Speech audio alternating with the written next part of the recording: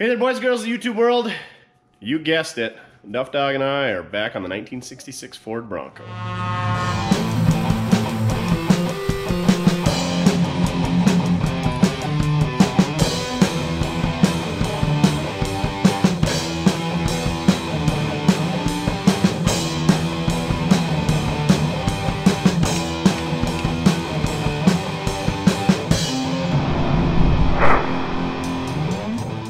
So if you haven't seen the last video, put a new water pump on it, radiator hoses, belts, chin went through the carburetor, we bent up a hard fuel line, we got a brake pedal switch in, headlights working, park lights, tail lights, and then we got stalled out on the steering column. Well, last night had a few sandwiches, and a Tiffany, she came over, and she said, you got something screwed up in that steering column. And I said, I know. I said, but I measured everything. She said, did you measure it right? Critical dimensions, kids. In engineering terms, that's that's when you screw something up because, you know, I thought the tube length overall needed to be 30 and a half. No, the overall tube length don't matter.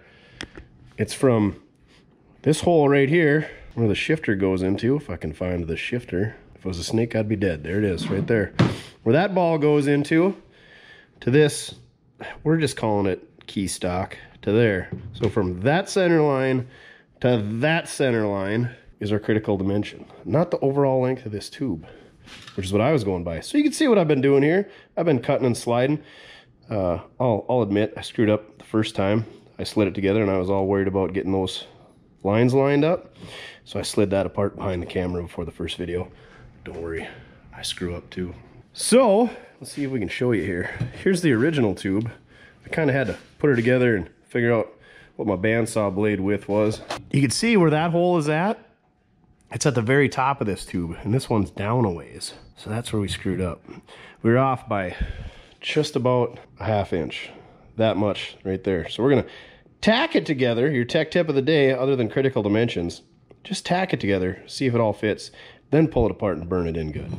So we might still have three in the tree shifter yet. I just couldn't bear cutting up the floor and those floor shift conversions just i know we got a really good duff conversion but it's laying on my back and cutting holes in the floor and adjusting and i just like a good old three speed. So we're gonna rip into this thing. I'm gonna burn this together we're gonna slide it together and it's gonna work flawlessly. That a tiffany? She's a she's a smart cookie. Okay let's do this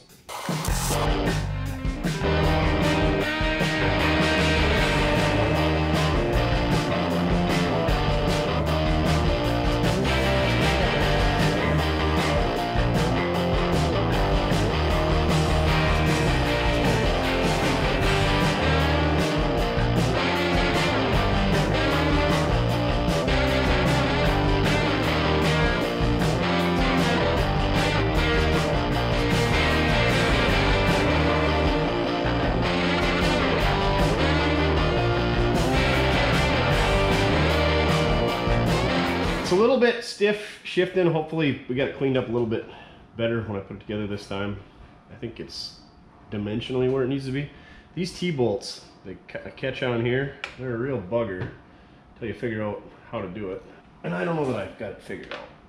So you slide her in the hole, and then you put the nut on, and you just start it with like a thread or two. There's two of them. The same thing with the other one. And then you just slide it on there, cross your fingers and hope that they drop in those holes and catch and you just tighten them up. Weird. But I guess it works. You gotta push them all the way in first. Then we'll feed our fake turn signal wire through. One started. You're slid on all the way, then you tighten them down. And hope they catch. Now, will it shift? Kind of like those will it blend videos. I'm gonna flick the Bic button. Will it shift? So push ahead. That should be first or reverse, which is this short one. Yep. Line back up. If you can. Yeah, it's just stiff. She's stiff. I don't know. I don't have much faith in this thing. I think she just, she's wallered out, kids. Why is that bushing not sitting in the right spot? I don't even want to admit how much time I have in this silly steering column. So everything should be lined up.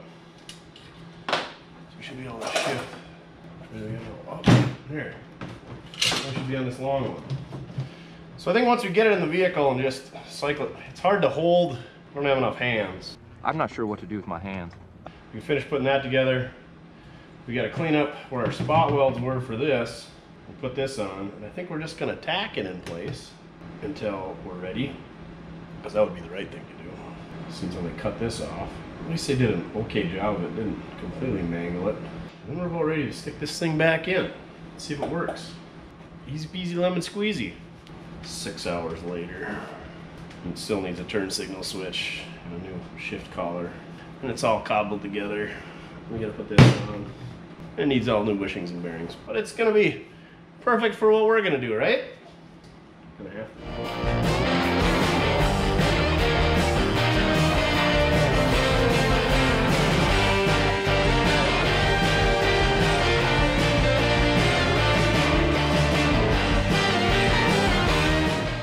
Shout out to Landon Green hooking us up with the he says it's a Mustang steering wheel. I don't know jack about Mustangs.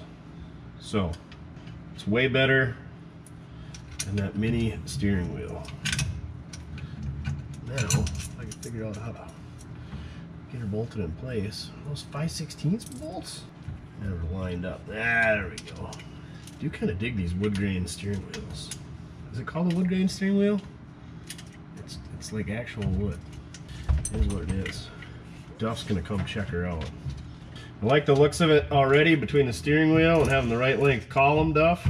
We are making strides. Oh my gosh, did we get that steering wheel on straight?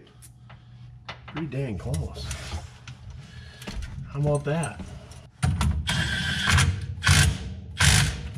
Goes good with our Mustang seats. Duff approves of the Mustang seats, don't you? Gotta figure out how to put a horn cap on it though. What is going on there? Are we missing a bearing up top there, Duff? We can't be having that.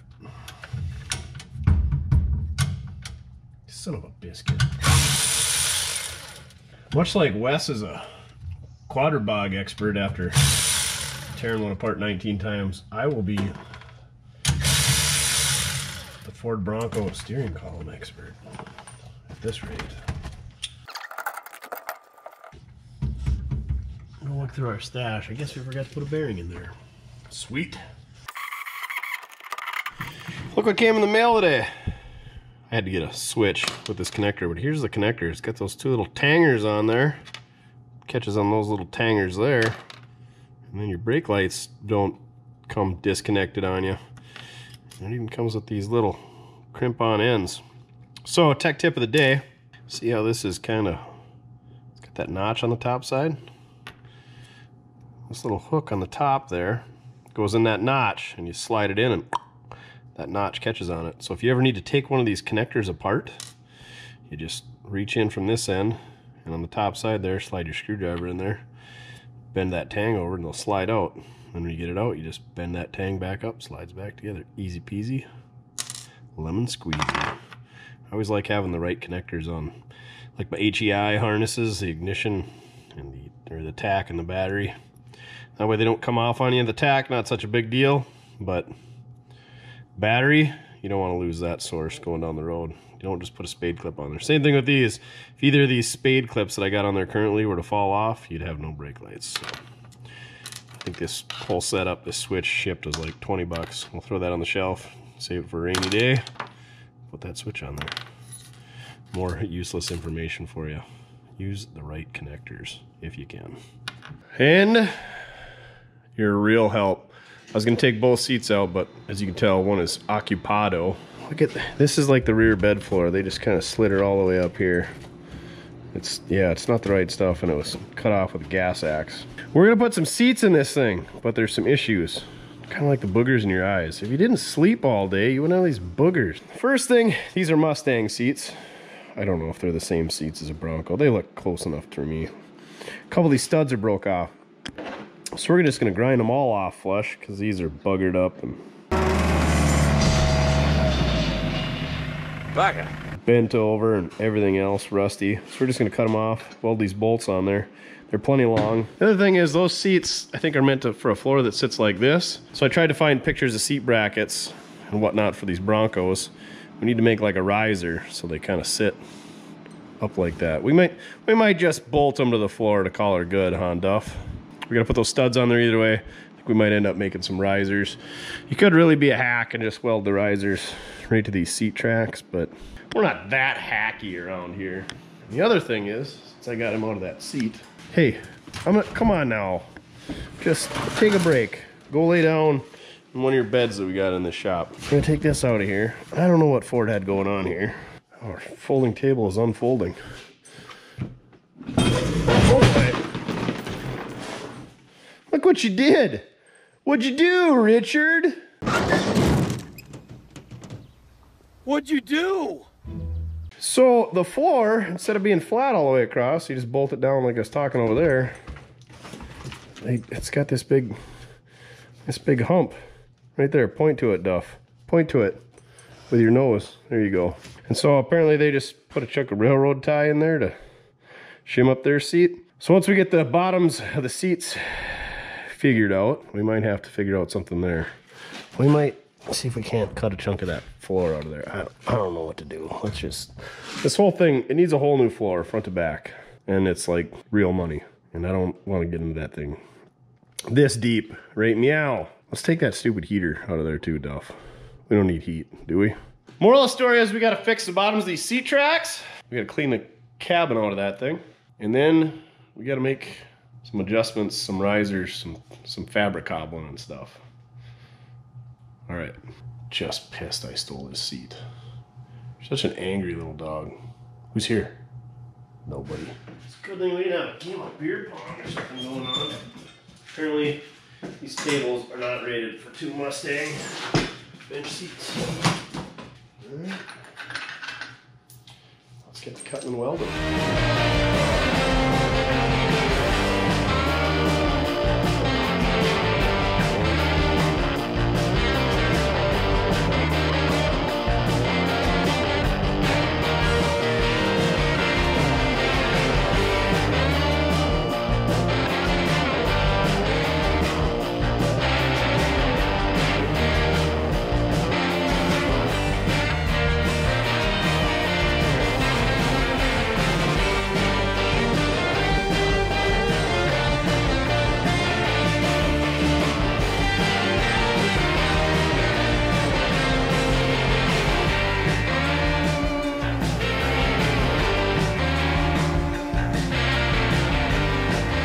We're gonna drill some holes for the seat. I set it in here, and if I were to raise it up like I think the factory seat risers are, uh, I think I'm gonna sit and my head's gonna hit the roof, or I'm gonna be staring through the top of the windshield. So we don't want that. So what I did was I took and measured from the center of the Bronco, which is right here where the fan switch is. There's a screw to the steering wheel. And I measured that same spot from here. And I know my seat track is 14 inches wide. So I transferred that line up to here and then went seven inches either side. Set my seat in here, found out where my bolts are, marked those. Used a carpenter square. Brought that back. So our seat should be centered with the steering wheel. We should be good to go. This floor, it, it must have been a bench seat, which makes sense because it'll pick up. why would you want buckets? But I think you would want buckets, you know, full top so that you can. Sounds like the seat. I could just call the guy that the guy who bought Lloyd my '55 Ford from me. He said, "Hey, I know a guy by the cities that's got a full removable top. He wants half cab." So he said he'd make me a trade and he'd throw in the rear seat. So hopefully we got something going on there. Full top coming. Stay tuned.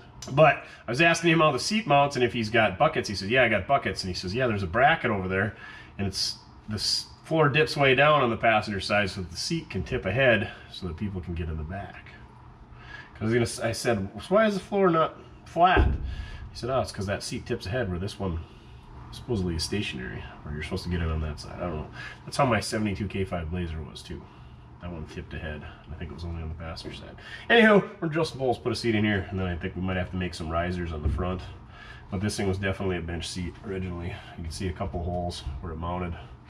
You can see the terrible cobbled up stuff they got back here. This thing needs floors bad. These have been patched already. This part's got holes for that heater, and I don't know if they cut a hole for a shifter and another hole for a shift linkage. Not good. Dewaki to the rescue. Always check to see what's underneath. You know if you're going to drill through some nice wiring or something. When you're mounting seats or seat belts, make sure you put a big plate or a washer or something on there. You don't want your seat coming loose on you. A moment of truth. Let's see if we drill them in the right spots. Why isn't your side going in, Duff? Yahtzee. Yahtzee! Try that out for feel. Yeah. Like I don't know if you could even raise it up much more because my legs aren't that big. So we're just sitting here giving her a feel. We're good centered. We can't go back any further. Time being with this threshold, that's what they call that piece, this divider. You know, if we had the full removable top or we just took everything off, we could move the seat back here, but I think we're good leg wise. I don't want to raise the seat up any. It's hard to get my leg underneath the steering wheel. I don't want to go with too much smaller of a steering wheel. We had one of those. We didn't like it, did we, Duff? So I think what I'm going to do is just make a little riser sorts up front there and just leave it at the angle it's at. Kind of like it. You got any ideas, Duff? I'm sure you do. We could actually probably just put two nuts on the bottom of this, call it good. But everybody wants to see fabrication. Just kidding, not everybody wants to. Go over to Puddin's Fab Shop and check him out if you want to see fabric cobbling. Should we, should we make something with some dimple dies and whatnot in it, Duff? Yeah, probably not. Here we go. Just got done underneath there. Got our seat all bolted in. I did have to cut those bolts back off the front, put some longer ones in there. And then I found some poly spacers that were three quarters of an inch tall and 5 16 inch inside diameter. So they're not gonna get rusty.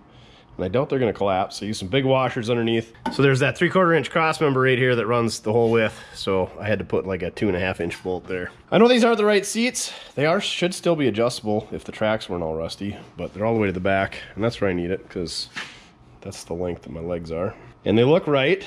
And all I did was drill a couple holes in the floor, which isn't a big deal because like I said, this floor is scabbed together anyway, and there's some big gaping holes in it from the previous owner, so it should be good. Let's give her a test drive. Yeah, your seat will be next. That one's gonna be a little bit more difficult. Guess that one's got a tip ahead. Oh yeah. It's not the most comfortable thing I own, but I think it'll work, Duff. That'll do, pig. That'll do.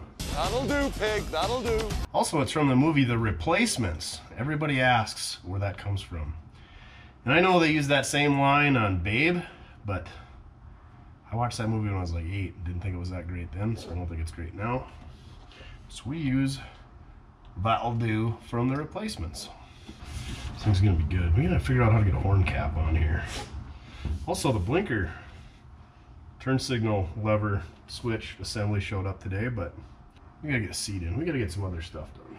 Also, we got the brake switch connector on there, so we don't have to worry about our brake lights coming off on us.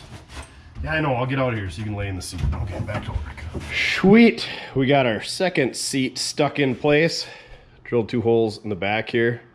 Uh, those caught the top lip of a cross member, so should be in there real good. Always make sure you got your tracks slid to where they got to be and that they're not, one isn't halfway back and one halfway ahead. Don't ask me how I know. So we got those dropped in back here. The bolt on the inside here caught this transmission tunnel. Check her out, Duff. I know. We got a little spacer in there again. Oh my gosh, just getting right up in my business. And you can see we got to do something right in here. You're awful brave sitting on that seat like it's a teeter totter. But I mean, what do you think? Is it acceptable? You want to shake hands? What a what a guy. You're a gentleman and a scholar. Damn glad to meet you. Hi, Eric Stratton, Rush Chairman. Damn glad to meet you. So you can see why these seats tipped ahead. you goon? What did you think was gonna happen? Told you it was a tripod. My word, you're a tripod. They tipped ahead right about here to get out of the way, because if this seat back rolls ahead, I can probably show you. God, these freaking Mustang seats have the silliest latch. So, I mean, that doesn't leave much room to squeak through there. So that's why they tip ahead. Yeah, and so they don't automatically latch. Well, mine don't anyway. So we gotta make some type of pedestal. And I did a little searching on the interwebs and it looks like just kind of a triangular piece. And it goes both directions and it would pivot there. We're not gonna make ours pivot because there's no back seat to get into. For the time being, these seats gotta be recovered. Floor's gotta be redone. So we're just gonna make them stationary for now. Good enough for the girls we go with. So I'm gonna do a little CAD, cardboard aided drafting. I'm gonna see what we can come up with. And we gotta find some metal to make it out of. Can't wait. CAD of choice this week is Heileman's Old Style. Tech tip of the day, save your beer boxes, or at least a couple. You know, if you're a big sandwich fanatic like me, that'd be too many boxes. I don't do enough fabric cobbling. But the cardboard's way thinner and way nicer to work with than, you know, your standard Amazon box. So I always save them. Plus, they make good wallpaper and backsplashes in your kitchen and whatnot. Patching up your windows that are busted. You name it, just really versatile stuff. I like it. All right, back to work.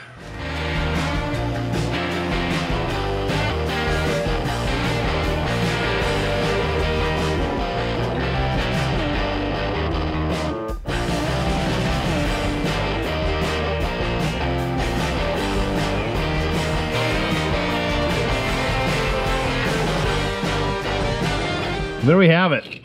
Uh, I gave myself a one inch flange on the inside on the base there. A little flange over here to tuck into it for a little strength. I kind of goofed up, but not really. There's needs to be a one inch flange on this side. I thought about, you know, angling it over that way, but that'd make it rigid from, you know, wanting to teeter around, teeter totter and such. But I think that one inch strip will be just fine in there. If we can always rework it later. And then we'll weld it over here. We'll put a little piece of one inch up here. Maybe we can go one inch. Nah, that's that's just too much bending. I think we can bend this piece and we can bend this piece. I don't know if we can, I don't know how wide my die is. How wide is the die? I don't know. I got the carpenter square on your seat, but you don't, you're gonna tip it over again, you goon. Look at what you're doing to my Heilemans. It's not structural cardboard. Come on, man. This is why we can't have nice things. Okay, I'm gonna go turn that into metal. Yeah, I know I can't turn it into metal, but we're gonna we're gonna do, you're gonna tip over. You're gonna tip over. Come on now. Go sit in the driver's seat. You go drive for a while. You silly dog. All right, we gotta get to work.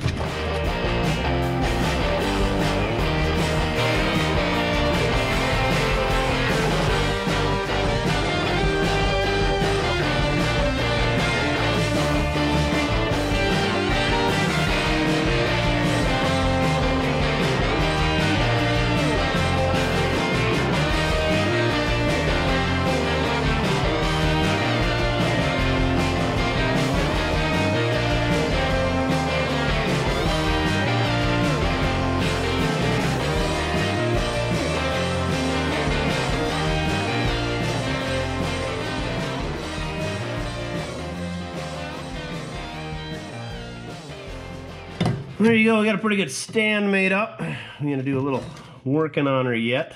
It's a little bit taller than I wanted. Son of a biscuit. I suppose we screwed up on our bends, but we'll burn these in. And we gotta drill some holes in the bottom here. And we gotta drill a hole in the top. And we'll see what we can do. Here we go. Also, I used a Beverly, well, knockoff Chinese Beverly shear and my press, but you could do all this with a vise and cutoff wheel like Puddin does. But I got the stuff, so, and I never hardly use it, so why wouldn't I use it? Now you know. Okay, let's go do a little welding.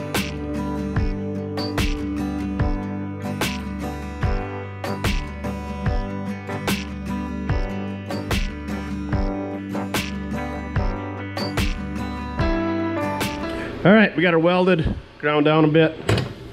Let's drill a couple holes and see how it fits. So, this thing was too tall. So I pie cut a little bit out of there. We're gonna put her in place and tack it. Maybe even just burn the snot out of it. And it's all right to screw up. You know all them TV shows where everything's perfect and they get to the end and oh, the engine won't fire up or yada yada yada. There's a lot of trials and tribulations to get to those points. And those TV shows don't show that. What I'm trying to get at it here is it's all right to screw up. It's metal. You just cut it, re-weld it, add a piece in, grind it down, whatever you gotta do. But don't half A it, full A it. Never half two things. Whole one thing. Fillet it? Fillet like a fish? No, like you know what I mean. Don't uh, half arse it, full on do her up. Speaking of that, go check out Half Ass Customs. He's pretty pretty cool dude, Brent. That guy, I don't know, he must make a lot of mistakes because he gets a lot of stuff done. He's always doing something. We should probably clamp this with a locking pliers, but we're just gonna hold her by hand, burn this in. I think it's gonna look pretty good.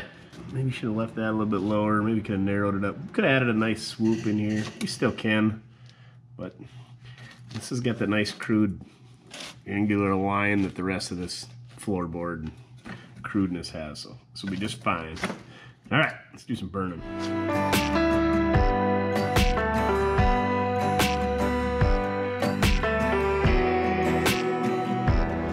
There. You can hardly even tell until you look in there. Look at this guy. Even did a little uh, Puddin's Fab Shop. Put some dimple dies in there. Hit her with the DA. Looks all professional. If I were to do it again, I think I would slant it back and make it narrower or slant it ahead. I don't know. Kind of looks silly being square, but it matches the rest of the rig. And then maybe I'd change my whole pattern layout on the dimple dies. But she's plenty sturdy for the Duff dog. Speaking of, just let him out. And who came back and rolled in the poopy poop? Look at this. You got her all down that side. You got this side a bit. You're on your hind quarter. You're pretty proud of yourself. So I guess we're gonna give you a bath instead of going home for the night. So that pretty much took all night mounting that seat. I guess we didn't really get much. Oh, I got that brake switch put in there. That's about it. This stuff just takes for flipping ever. Okay, bath time. No, don't get it poopy in your bed. You are such a silly, silly dog. Say bye to your bandana. You know, It was nice for the week and a half it lasted. Oh, are you so happy that you got a bath? Absolutely not, he says. Well, sorry, man. That's the way it goes. Yeah, lick it off. That's the beauty of when it's cold out. The poo freezes hard real fast, so we don't have to worry about Duff doing his thing in it. But now that it's warming up, you know, the poo stays fresh longer. So, plenty of fecal matter for the rolling. Right, Duffel up, I guess? Right. We should get you another bandana, huh? Get one from the merch, merch site. Speaking of that, go on the merch site. Get yourself a next level tee. These things are good. Get them a size bigger. If you're an XL like me, go all out. Get a double X. If you're large, get an XL. If you're medium, eat a cheeseburger. I never realized it. This thing's got a red bow tie on the front. Pickup doesn't. If you're medium, get a large. All right, we're punching out for the night. Bath time, bedtime. Oh, how pretty do you look after you got your bath and you're all dried up? So pretty. Okay, what are we doing next? Seats are in. Oh, let me move that stuff so you can test her out. Cyclops, these things are good. Go ask the Mopar Madman. He had his stuck to the inner fender in one of his Mopars. Did like a 40 mile round trip, still there when he got there. Only thing is, they stick so good. If you don't find them before the light goes out, you don't find them at all. Oakley dokley. Oakley dokley. Steering's done, seats are done. What do you want to work on next? We are just talking about ratchet straps with old Mickelson Racing. He's picking up one of them fancy aluminum toppers. Do you like toppers or not? If you like toppers, you're probably from Minnesota. Blue platers, they love those things. You know, like topper on a pickup, best thing ever. It's always you can always tell most puddle jumpers, and they come over here trying to shoot ducks and geese. I don't really care for toppers, but if you're gonna put a topper on a rig, you know, an old rig, I like the old aluminum, aluminium ones. You know, with the bubble windows, tinted windows, and like the three vent shade windows, and you know, like maybe like a deer mural on it. They're pretty cool. And like some of the vintage 50s and 60s ones, they're bringing good monies. Who'd have thunk? Anyway, getting off subject. Ratchet strap. He's hauling a Homer topper. Needed some ratchet straps because he forgot to take them when he went to the big city. I want my ratchet strap back. I have that there because I don't trust the fuel tank strap. So we're gonna get some blocks and block the fuel tank up and get that strap out of there and modify the end of it since we're, you know, in the fabric cobbling stage. So let's do that. But let's not do it like we did last time where I was struggling and almost died underneath. Oh, uh, that's, uh, that's full. Uh, Duff, you wanna, wanna hold this? All right, here we go.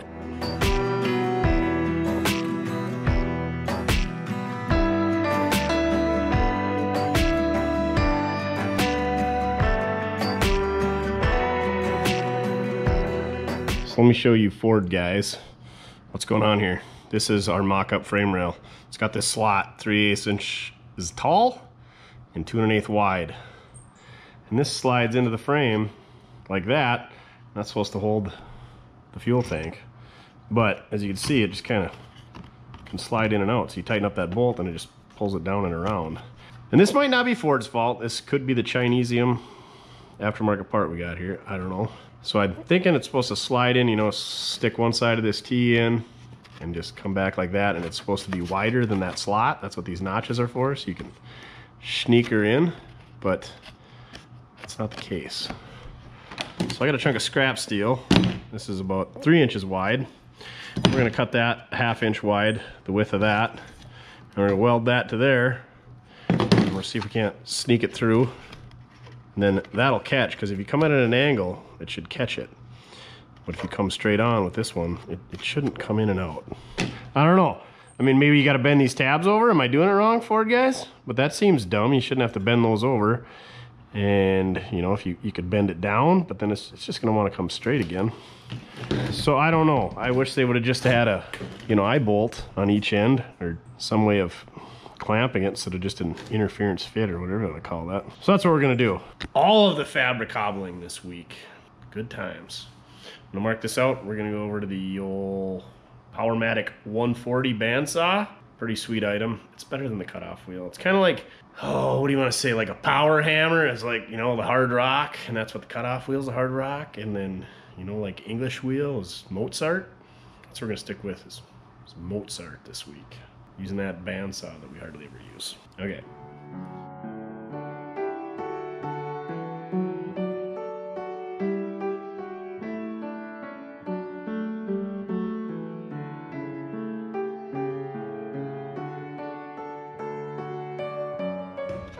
Our piece cut out here.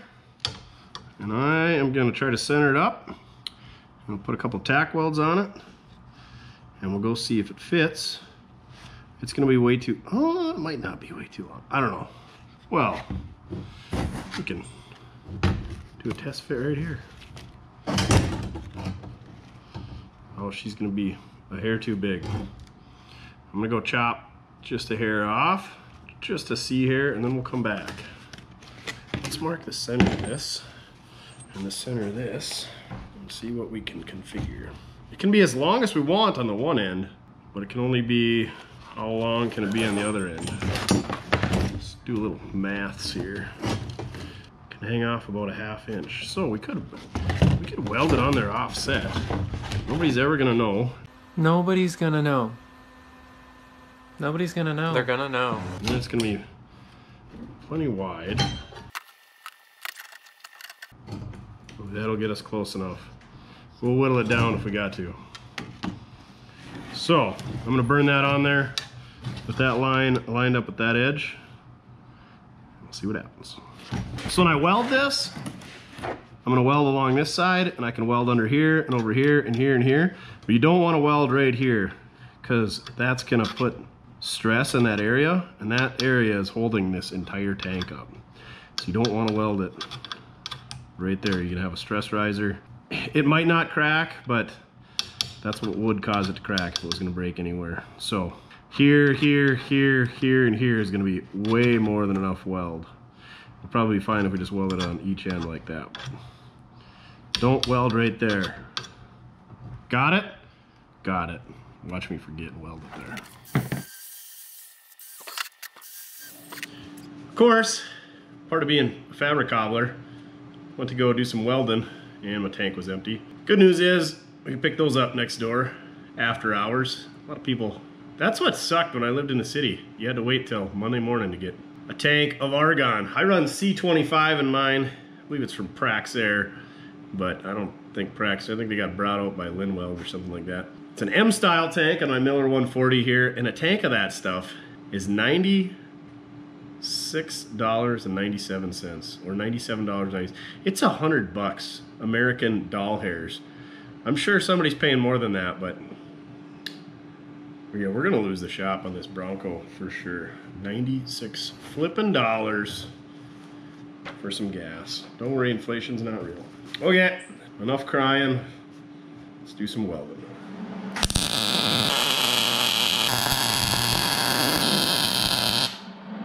So there you can see just how much wider this guy is. Let's stick it in this gal, see if it fits. Oh yeah. Provided my makeshift slot here, my pocket slot is the right size. This should work. And if you halfway get it centered up, there's no way that's coming out of there. No way. Where's that guy going? Nowhere. He's going nowhere. So I'm gonna slide underneath, see if she fits. Okay, I forgot to factor in the exhaust is gonna be difficult to finagle around and the leaf spring as well. Dang it, Mortske. Dang it, anyhow. I mean, if we took the exhaust and the leaf spring off, it would probably slide right in there. Just twist a little. Come on. Do the twist. Engineer would say, but it worked in the model. I'll tell you what, if we get this in there, she ain't coming out on her own, that's for sure. That is for sure.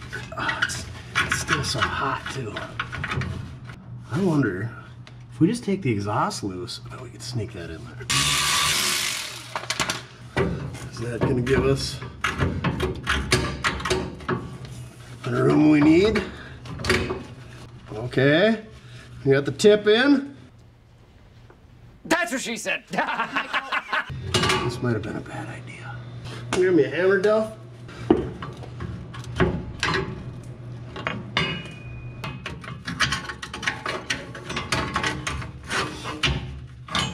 Oh, come on, baby. Look at that. There's no way that's gonna come out of there. It's also maybe no way it's going in there, but we're gonna try. Just give her the old tap, tap, taparoo. Just tap it in. Just tap it in. Give it a little tappy. Tap, tap, taparoo.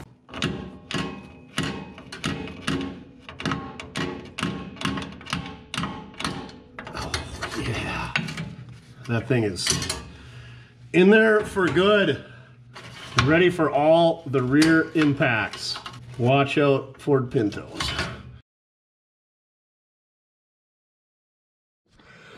Here's what we got on the driver's side.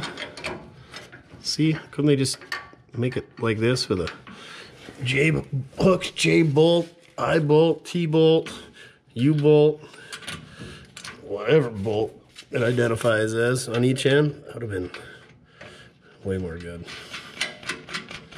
So hopefully this helped somebody that's having this issue or got a bunch of people screaming at me, you idiot, you're putting that thing together all wrong. Yeah, that's probably a lot more likely. That's the way it goes. You stay classy, San Diego. I'm Ron Burgundy. You stay classy, San Diego. And then it should be plenty tight. We'll back this nut down and jam her up against it. Let's call that a jam nut. Feel like somebody should have a joke, a dad joke related to jam nuts. What kind of nights love to rock out on party night on Friday nights? Jam nuts. cool. Much safer now. Let's figure out what we're gonna do next. Well, in case you didn't notice, we don't have hubcaps on this thing. Put some different wheels back on the orange pickup that we stole these from because that pickup looked pathetic with the old Bronco wheels and tires on there. And in the meanwhile, we don't have hubcaps on this thing. I don't know what to tell you. So I went on the flea bay, bought some hubcaps. Bought six of them. They're for two-wheel drive, because four-wheel drive, guys want big bucks, and all you gotta do is drill a hole. It's a three and a half inch hole, pilot hole that you need. I don't have a three and a half inch bit. I got three and three eighths. So you could maybe make it fit. If you got her perfect, you could maybe make it slide on. I know. But I got three and five eighths, and that's what I did the last ones with, so it'll be just fine. So we're gonna take and find the worst two out of these, six. We're gonna drill holes in. And this one's, she's pretty scuffed up and worked up. You don't wanna, you don't wanna drill holes in nice hubcaps, is what I'm getting at. And these things, I think I paid about 150, 160 bucks for all of them shipped. They're not giving hubcaps away anymore. These that's a nice one. We're definitely not drilling in that one. That one's pretty respectable. Oh, that one's good too. That one's real good too. I'm have at least one really good spare. Kind of want just huck this one on the wall. That one's not that nice. You know what? We got some pretty nice ones, and we're still gonna have one nice spare. We're just we're, we're not gonna use this one. Somebody's really sanded on this one, and all the black paint's missing. It's got some rust starting. There's some rust in that lip rattling around. So we got the two that we're gonna. This one's got a little hooey there, and this one's got a little hooey there. Either of them are not. They're both way nicer than the rest of the rig. So let's take our tape measure and find the center. It'll be easier from the back side, just to, and then I'll figure out where it lays and we'll transfer it to the front. Capiche? Ah, capiche. So that is two and a half, three and a half. What's that? Half of that, inch and three quarter. Right there. We turn it this way and go inch and three quarter. That'll do. Right at the bottom, this guy. Oh, wait, that's the high part. Right there. Okay. Right in the center of the crest. Because why wouldn't it be? So now we're going to see how much snort the Dawaki's got. The Dawaki really doesn't like these hole saws. Here we go. Don't walk on me now.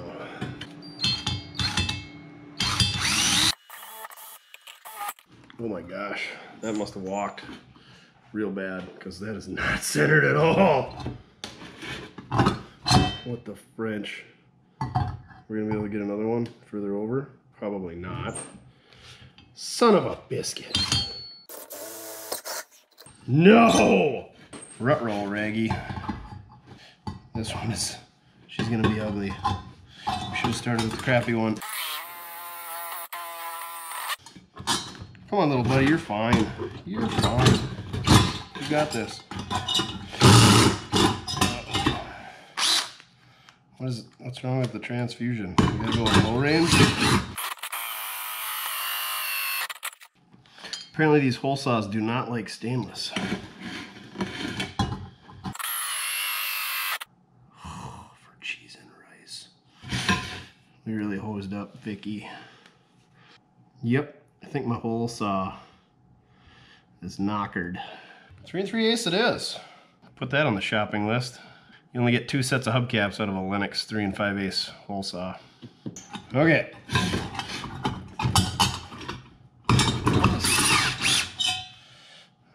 Three and three eighths. Here we go. What the French?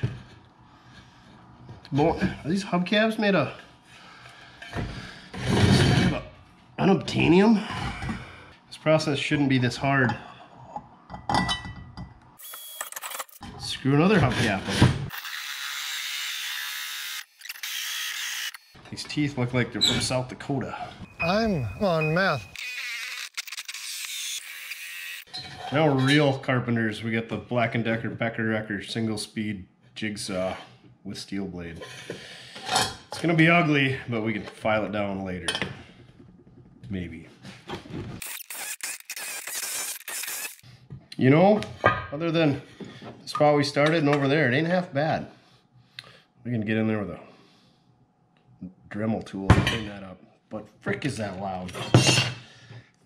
I bet it's sharp too.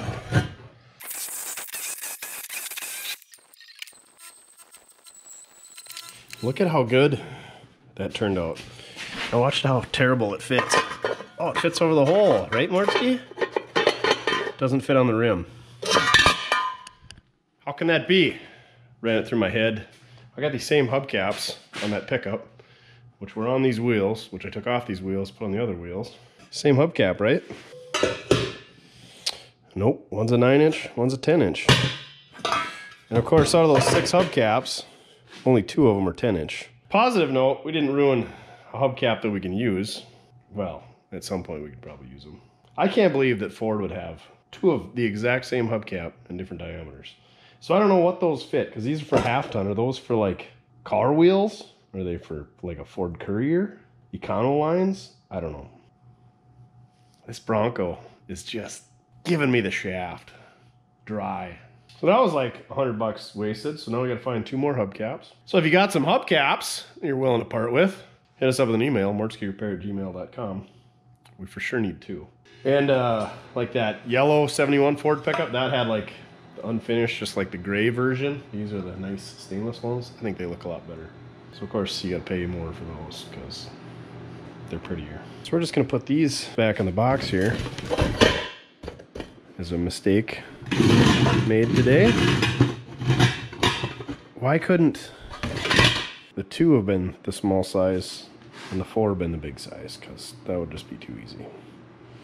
But now you know how to make two-wheel drive hubcaps and a four-wheel drive hubcaps, but you probably knew that. But make sure you got a real good bit before you get started, because these Lenox are good bits, but they're used up. They're only good for about four hubcaps, because that's how many I had done up to this point. I'm gonna go have a sandwich and think about the sacrifices we've made on this silly Bronco.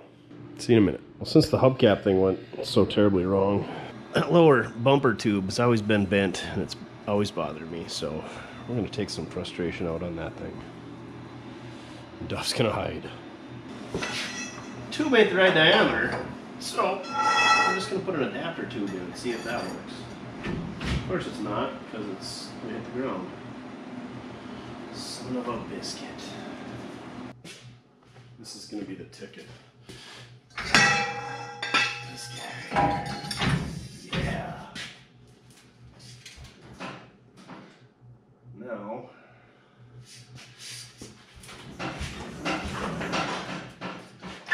We need to block her up somehow. The problem with blocking it up is I think the other side's it's gonna keep this from going down, but I think it's just gonna lift the other side up. We're gonna find out. I mean, nothing else has worked thus far.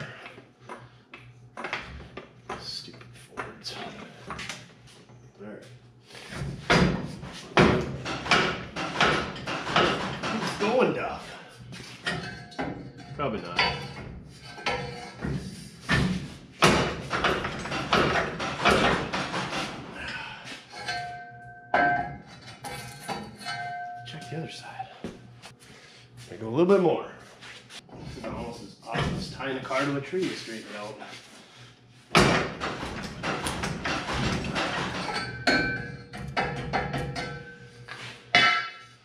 We better get our measuring device. Three inches. Three. Oh, let's get real precise. Three and an eighth. Three inches. We need to go an eighth inch. Money in the bank. Way better. Now, if only that bumper wasn't attached by hopes and dreams. So as you know, we cheaped out on brakes last time. We didn't do drums and shoes, and they're bad. And we screwed up the drums taking it apart because you got to take the drum off with the hub. And we're going to take the hub off and open that up, and see what's going on in there. These are Warns. I think they're from the factory though, judging by the decal on the dash. I know everybody hates watching me do brakes, so I'm going to try to do it as fast as I can. Let's do this. These Warn hubs are held on with some Allen screws. We're going to take all those out. And then we'll see what's inside of there. Why are the birds chirping at 9 o'clock at night?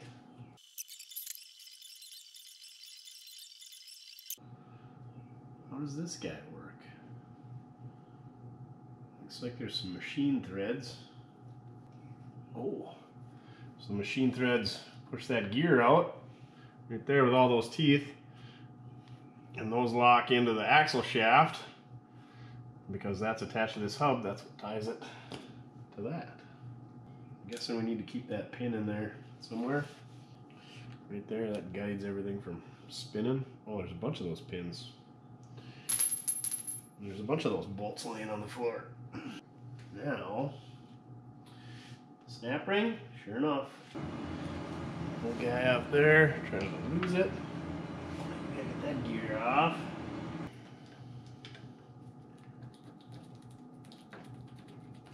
Oh, come on. Is there another snap ring in there or what? Where's the Cyclops?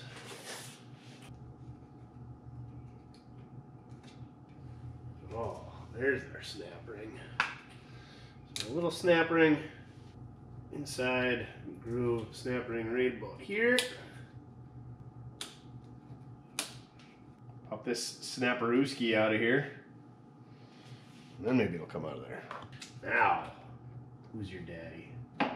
Yeah. Woohoo! Now what do we got? Oh, somebody sent us some sockets. I wonder if we got the right socket. I don't remember who sent us these, but thank you. Even though they look like they were in a fire that got put out with salt water. They'll work just fine.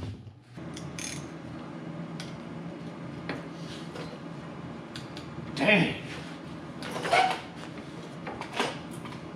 We got a perfectly good impact. What are we doing this far? Get the BDBH out here. Find there. Easy peasy lemon squeezy with that guy. Guessing there's a washer in between the two. It's got some type of locking device built in it. Looks like it's got some holes. Probably line up on a pin of sorts. If we had two coaxing devices, maybe it'll go. Come on now. So yeah, it's got that keyway that that rides in. And then there's a pin on that nut in there that rides in the holes in that washer. And that's what locks it. Another nut.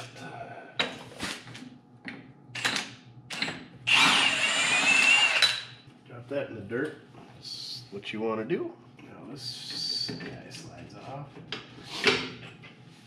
Yeah, so in the previous video, you saw me heating these and beating on these. Yeah, don't do that because the brake drum is swedged onto these wheel studs. You're supposed to press the wheel studs out, put the brake drum on, and then press the studs back in. So that's what we'll do when we're putting it back together. Now we're gonna put some new shoes on while we're in here. Maybe clean up this adjuster. I got a new hardware kit, so maybe we'll put that on if it looks like it needs it or it'll fit. The way things are going, we're just hoping that it'll fit.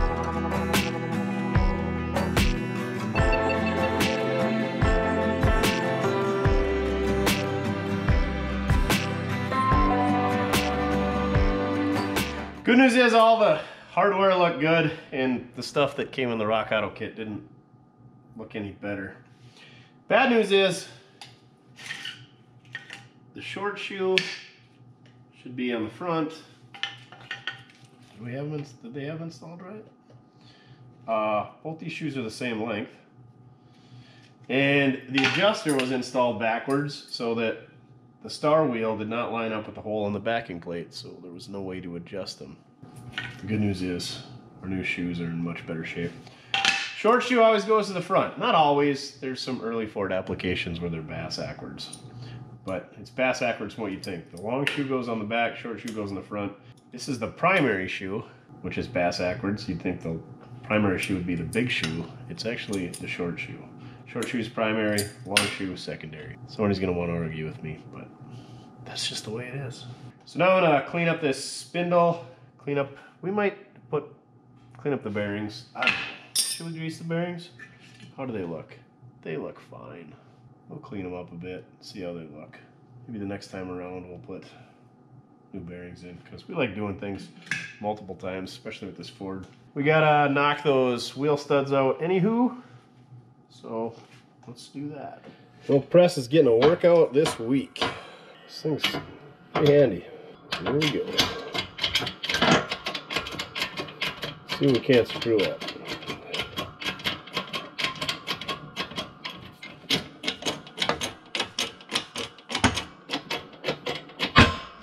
Oh, we knocked the whole hub out. Didn't take the wheel stud. Scratch the idea of needing the press. The holes for the wheel studs are larger in this one. So we don't have to worry about that. Good, bad, indifferent, I don't know. We'll see. She sits on there pretty good. So we'll clean up the hub and the spindle, check the bearings out, throw it all together. Oh my word, it just continues with this thing, don't it, Duff? So it looks like it's a Trostel seal. I've never seen one of those. It's like leather in there. It's definitely not rubber. Cleaned the hub up. That's no bueno. And the outside bearing. That one's a little chew. Yeah, look at those. Those things are no bueno. And, you know, the inside race was fudged. So, we need a Timken set 37 and a 35 and a wheel seal. And this goes in there somewhere too. We're gonna pretty near have a restoration on our hands, aren't we, Duff? So since we've got a restoration on our hands, we quick fog that. Real nice brake drum. And a quick fog is about all it is. So now, gotta try to find some wheel bearings and seals. It never ends with this Bronco. It never ends. No, we're not going for an RIDE. Let's see if we can find some parts tomorrow. Finish putting this thing together. Son of a biscuit. So look up some part numbers for some seals and bearings. Looks like it's a set of A37s on the inside and 35s on the outside.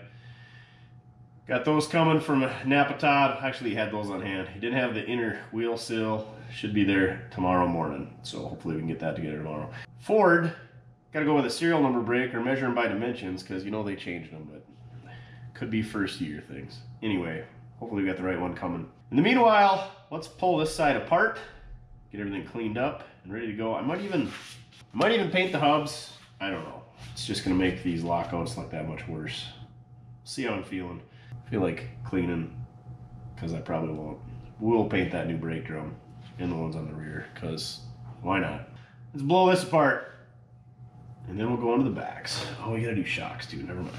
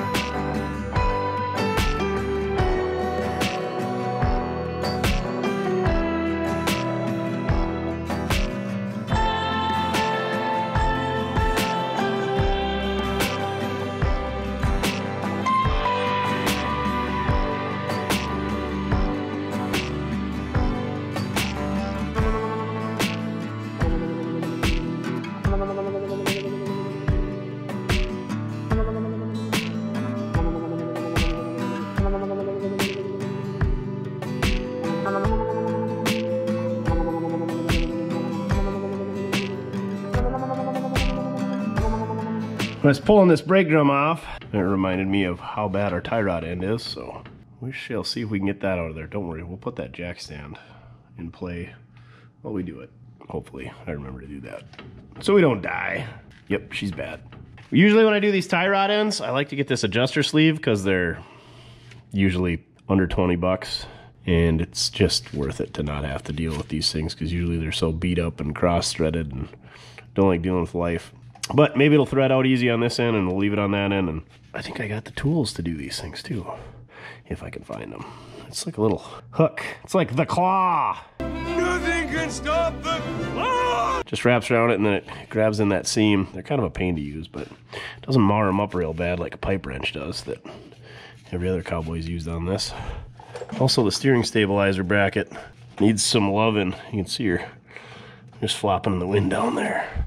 I don't know if those are original equipment or not. Either way, we should address it. But yeah, we can't really do much here other than clean them up, maybe paint them until we get some new parts. We could knock the races out. We'll be waiting on parts here. So let's see if we can get that split.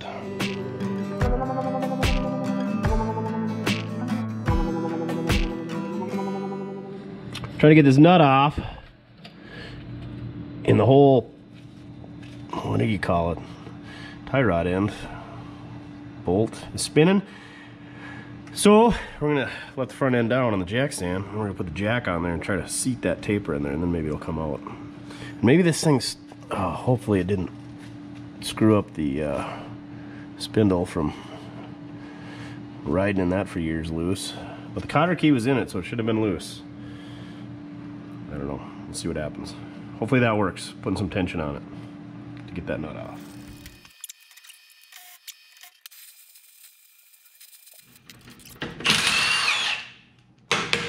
There you go. A little heat goes a long ways. In case you don't remember, big expenses that are well worth it. Torches. Torches and air compressors and welders. Get a torch before you get a welder though. Now hopefully we can just let the jack down and it falls out of there. Oh, we should we should measure some overall lengths first so we know what we got. That way it's halfway in alignment, maybe.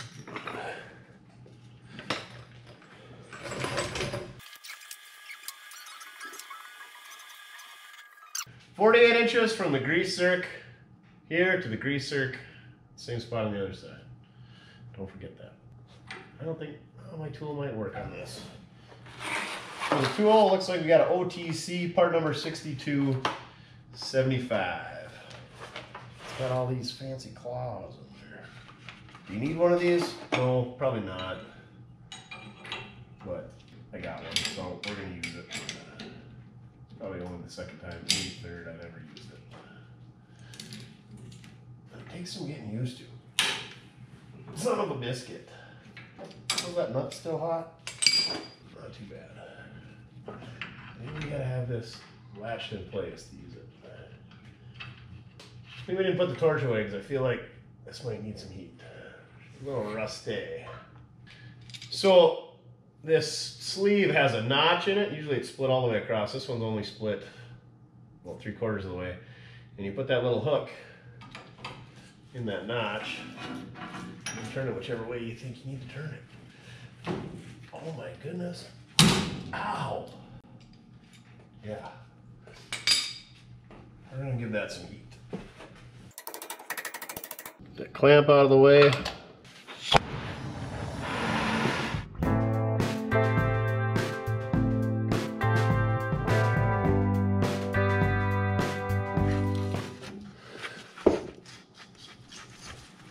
It's just spreading it.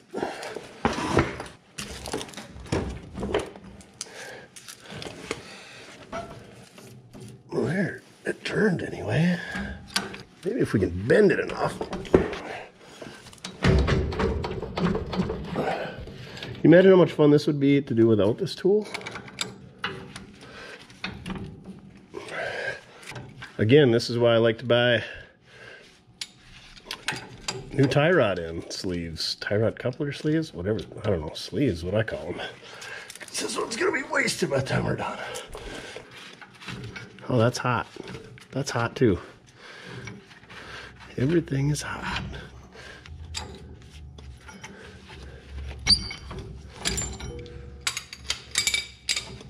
That's still hot. There. Still hot. Now we just hope everything fits. This thread's the same.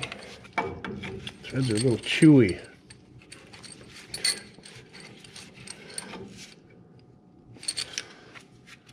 We want to clean those up a bit. Let's see how this fits in there. Hopefully they didn't. No. What do we do if they egg that all out? Gotta buy a whole new knuckle? That would not be good.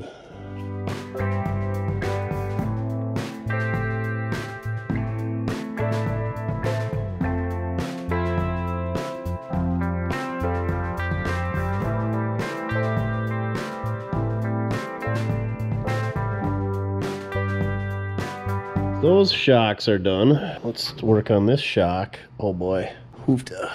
She's pretty tacoed there on the end. Guess that bolt should be straight with the shock. So that clamp must have went right here at one point and got hit by something. Oh yeah, the shock. Can I get her spun around? Yeah. Got it pretty good. Hooey right there. A little whiskey dent. If uh, you will. Look at the clear tub and tile caulking on the front diffie cover. Oh, and missing bolts? No, no problem. I mean, if I was missing a bolt, I think I would take one of the top ones and put it there, but they probably snapped it off. Who knows? Anyway, oh, it's got the tag though. We can see what it's got for gears. Let's do that. It's probably Ford probably has some fantastic way you gotta translate it. It says C8TA, so that means it's a 68 tag, and this is a 66, so maybe the front end's been swapped out. I don't see a ratio on there though. Yeah, she's uh, slid over some rocks. Look at the bottom of this. Cover and diff is all mashed together. Seems lived a hard life. I don't know why they got, took the fill plug out, put this 90 degree in there so they could get more fluid in the front. Or is that factory original? Maybe one of you Bronco guys knows. I'm guessing it's just supposed to be a regular plug on there. I don't know, you could maybe get another half pint more in there. So, what we're gonna do is we're gonna take this apart and uh, weld that bracket back up. Hopefully it holds together. I don't know if this bracket is original or if this is something added on. I'll tell you here shortly. That definitely looks like something that was added on. Although the welds look much better than the rest of the cowboy work. So you know what we're gonna do? We're just we're just gonna unbolt it for now. And we'll throw the extra pieces in a box yeah, to be uh, thrown away or to be sold this thing to the next owner. That'll be easy enough to resolve. Fixed it, because those look like regular U-bolts off of a universal joint. Nice fabric cobbling. All right, we're gonna blast this thing off. Work on something else.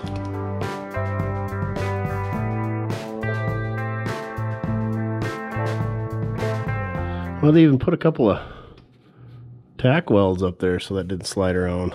Now, if you cut that off, nobody would ever know that it had a steering stabilizer. So, let me know, Bronco guys, down below. Do these things need stabilizers? Do they come with them factory? Should I put one back on? Well, let me know. And what is this all about? Why is there a tab on that drag link? What's that do? What do you do? Any type of steering stop? We may never know. We're gonna go see Napa Todd tomorrow, and we're gonna bring our old parts with just to make sure he doesn't hose us over and send us with bad parts. Always a good thing if you can take your old parts to the parts store, so you don't get home after hours and go to put your parts that don't fit on. At least this way you can harass your local parts folks. So let's knock these out here. I'm just gonna get a long punch. Just try to catch the edge of the race, knock her out of there. Easy peasy lemon squeezy. Yourself a nice wood stool. Works great for painting, beating on races, whatever you need to do. Works as a English wheel when you put your oil pan on it and straighten flanges out. It's so versatile. Well, I felt it hit. Oh, yeah, sure enough. She's about ready to come out of there. It's bottomed out on her stool.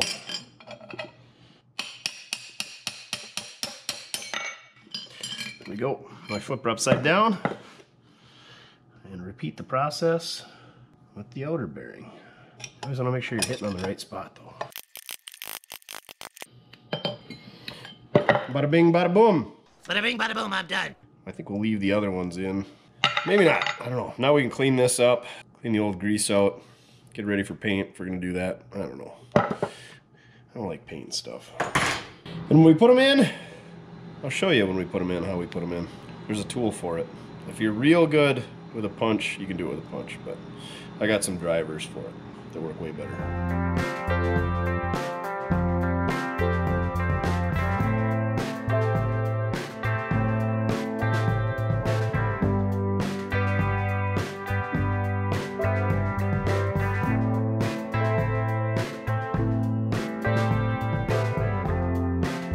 New day, new episode of More Man. Oh, he's masked up today. Rain or shine, we gotta make that run with the old John Deere. What is that, a D125s? Doesn't have the uh, slippers on. We put real shoes on when it's raining out, don't we, Duff? You gonna show them the parts you got? Did we go see Napa Todd? Um, um, um, um, um, um. We got us some new seals and some bearings. These are the uh, high-end Napa stuff. What a terrible name. But brought our old parts down, so everything looks like it's gonna fit. We got our Powerbuilt Kit 66 bearing race and seal driver master set here. And we got our inner wheel bearing race. It's got this little driver that goes in any one of these different attachments. This is a 2.995 inch version. And you can see they got a little taper on them, which lines up with the race. So you don't scar them up. Rides on that top surface. Now, we're gonna whack them in there. Ain't you them kids that have been whacking off in my tool shed? Aren't we, Duff? Let's do it. And we'll grease some bearings, pop some seals in. We'll be going for RIDEs in no time. You can spell now? Man, I knew you were a smart dog, but you impress me every day. Also, we got a new shifter bell column thinger. So we uh, decided to put some paint runs in that because it was anodized. I don't know. It was some weird color. Probably the same color as the one that's in here. Galvanized. So maybe we can put that on someday. We're going to get some brakes done because we got to do the rears yet too. You want me to open that door, don't you? I can't because there's a tire leaning against it. All right, seals and bearings are going together. Well, I ran into an issue, and I noticed it when I took it apart. This race does not fit very tight in the hub. So I think it spun one other time. And our hub is out of tolerance. So how are we going to address that? Let's see if I can find the race that was in that one. See those two races? But you can't tell which one came out of the passenger side hub and which one came out of the driver's side hub. This is the passenger side. You could tell she was spinning in there. So, look at how rusty, or I don't know, torn up those bearings are. This is the sleeve from this side, passenger side too. There's been some water in there at one point, and I think that was pretty hard on the bearings. I never did clean up the bearings on that side because the driver's side was shot, so we're doing them all. I'm guessing the passenger side was even worse. But that race has definitely been spinning in there. So I think what we're going to do is, it's called peening. Basically, you just put a whole bunch of little marks on there to hold it in place. It's not ideal, but short of getting an oversized race and doing a bunch of machining, I don't know what else that we can really do here. Yeah, look at how chewed up that is. These things were smoked. I suppose you could put some JB Weld in there and use that to hold it in place or Loctite. Let's do a sample. Let's try peening this. See how it works.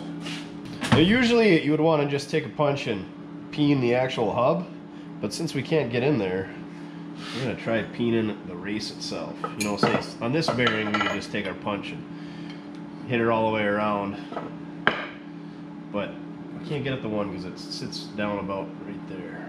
I've never done it on the race side. I don't like doing this. This is some shady used car salesman stuff that everybody knows I'm so good at. Probably need to put it, this is some hard stuff. This race is to be a lot harder than that. Does not want to scratch it. Should be doing this in the vise. Yeah, it doesn't even put a mark in that son of a gun. Hold that thought, we'll be right back. Had a little discussion with Tiffany, and she said, just get in there and try to mar that up as best you can.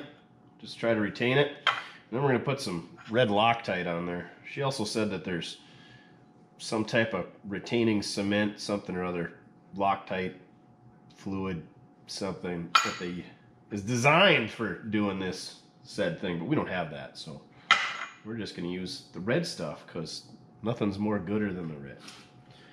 see what we can get in there. That's, oh, I wish we had a longer punch. Well, what the hey, this bar should do it. Maybe. All you're doing here is just trying to screw up the surface that's nice and perfectly machined so that that race don't spin.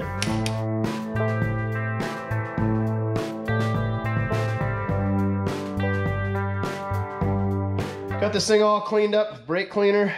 Trucker Bob's our red thread locker sponsor this week. We're just gonna slather this thing up. A little's good, a lot's better, right? Now hopefully it goes in a little harder this time and that red Loctite's gonna do its job hold it from spinning.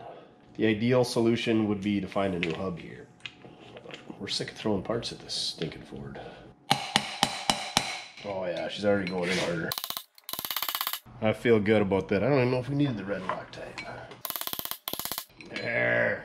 It's gonna be real nice. Let's wipe that red thread locker out of there so don't get engaged in our other parts that don't need thread locker on them. There you go, your worthless knowledge of the day if you got a race that spins. Peen your hub. Don't try to peen the race because I don't know what they're made out of, but they're hardened. It's gonna be way harder to peen. Be careful sitting on any stools that Mortske Repair. Here's my preferred method for greasing wheel bearings. I don't know what these things are called. Basically, it's just a cone, this threaded shaft that goes through there. It's got a grease zerk on the top. So you just hook your grease gun up to it, give her a couple pumps, wait till you see grease come out the bottom of the cup or the cone or whatever you want to call it. Until you see grease coming out in there. Smear a little bit more on the outside, and you're ready to go off-roading. I have greased them by hand. It's just messy. It takes forever. These don't work so great on really small wheel bearings. They don't work great on big wheel bearings. They make different styles these where you push them down. Hey, look, this one's made in USA. It's even got a patent. 624-7564. I think this is a Lisle brand. I've had it for quite a while. As far as grease, I don't use wheel bearing grease. I just use whatever's in the gun. It hasn't failed me yet, so. I know they make wheel bearing grease different, all kinds of types of different greases. I just grab whatever's in the gun. And whatever's in the gun is whatever we found was cheap at the store. Sure, it'd be nice to have one of them electric grease guns for the handful of times I ever use a grease gun. There, she's just starting to peek through. Spin her apart here. And I screwed it up by spinning out. The grease kind of smeared around, but you can see that it came all the way through that cone. So she's good to go. So I'll pull that out of there. And I'll take this excess grease and rub that in those rollers. We'll put some extra in the hub. I don't know if you're supposed to put extra wheel bearing grease in the hub. Some people swear by it, other people say it doesn't do no good. I figure it can hurt. A little is good on the grease, a lot is better. So that's what we're gonna do. We're gonna smear it in the hub. How much bearing is that? Guessing you're the inside bearing, outside bearing. Boop. Take the excess stuff off your finger, smear that in there.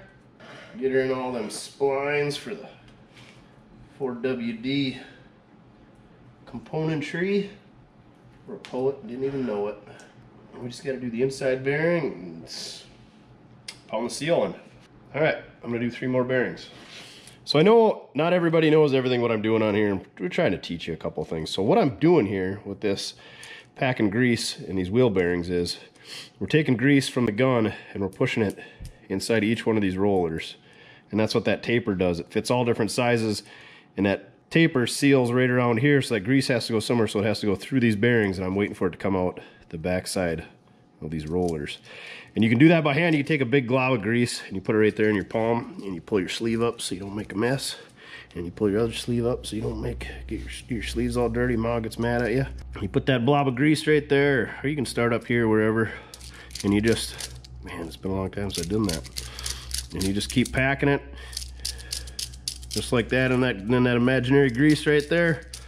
And you and you work it around, and you try to keep this end clean because you want to keep packing it until you see that grease peeking its head out. Then you keep going a couple more times. Once that grease is all the way around between all those rollers, and you smear it all around like I just did, and you put it back together. And there's your more worthless knowledge for the day on what packing bearings is like. These things are, I wouldn't say a godsend, but I just, I don't mind getting my hands dirty, but if I don't have to, why would I? And you can put the gloves on, but the first thing you do is you tear the glove and then you get grease wedged everywhere where it wouldn't be, and is what it is. More useless information for you. That's what we're known for here. That and me being grumpy, apparently.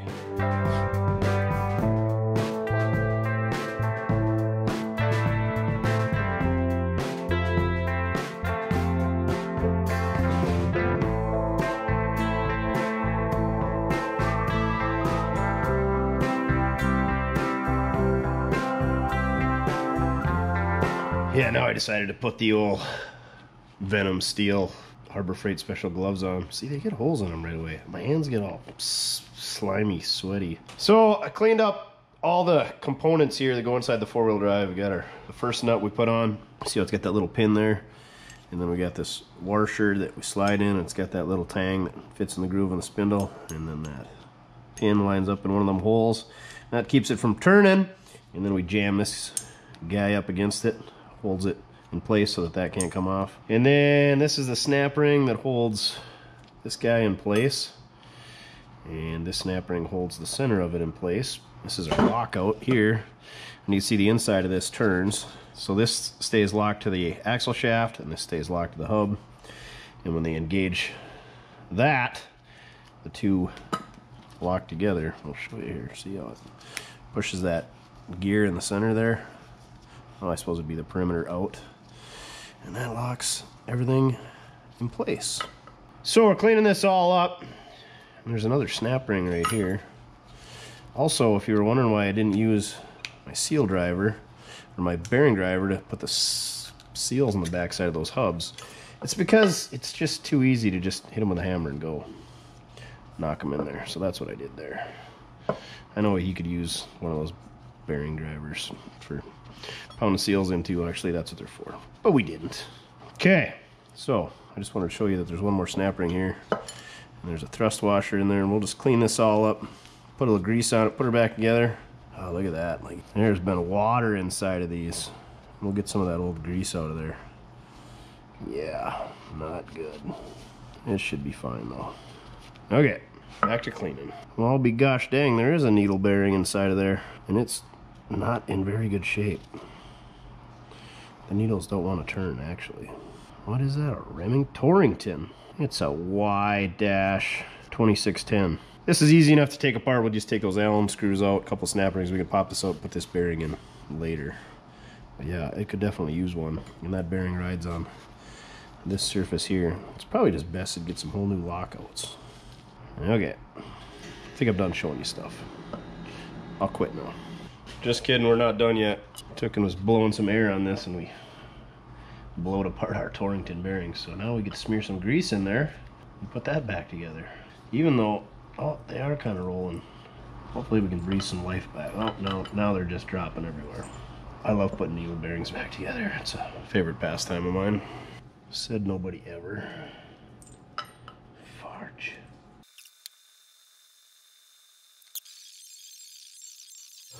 Lockouts back together.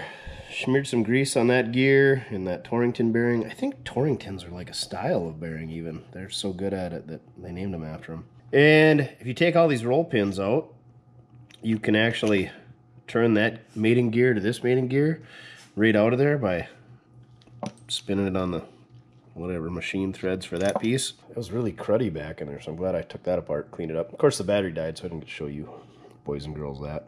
I know, I'm disappointed too, Duff. We got one side to clean up, but we're out of, you know, bar stools to do this on. So let's stick one side together, and then we will clean up the other side. Put that side together, and hopefully we'll be done with the front here. Other than our Torrington bearing is wasted.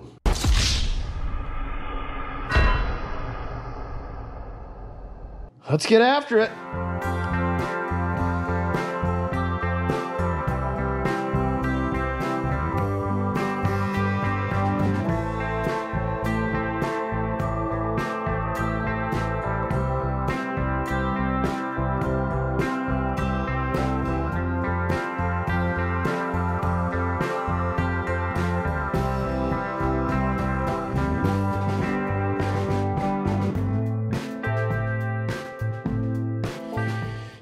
Saga continues. You know how the passenger side was significantly rustier inside? Well, can you guys see those needles? They're not parallel with the gear. They're all cockeyed in there. Because they've been hot and they've been rusty. Well, they were rusty. They were good, and then they got rusty, and then they got hot, and everything's they're oh my gosh, they do kind of move. Surprisingly, but they're they're smoked. You can see how hot that thing's been. And you can see the surface that they ride on on this gear is chooched out too. So, again, if uh, somebody out in Bronco land has a spare hub for one of these, you know, we don't set the bar very high for our parts. If you got a lockout for a Ford, let us know. And you can see these gears are a little bit chewed up. I don't know if that's because people didn't lock them in. They didn't get locked in all the way and they chattered and tore them up or what. And we, we could probably put a bearing in it and it'll work, but that surface is not in good shape. Yay, Bronco.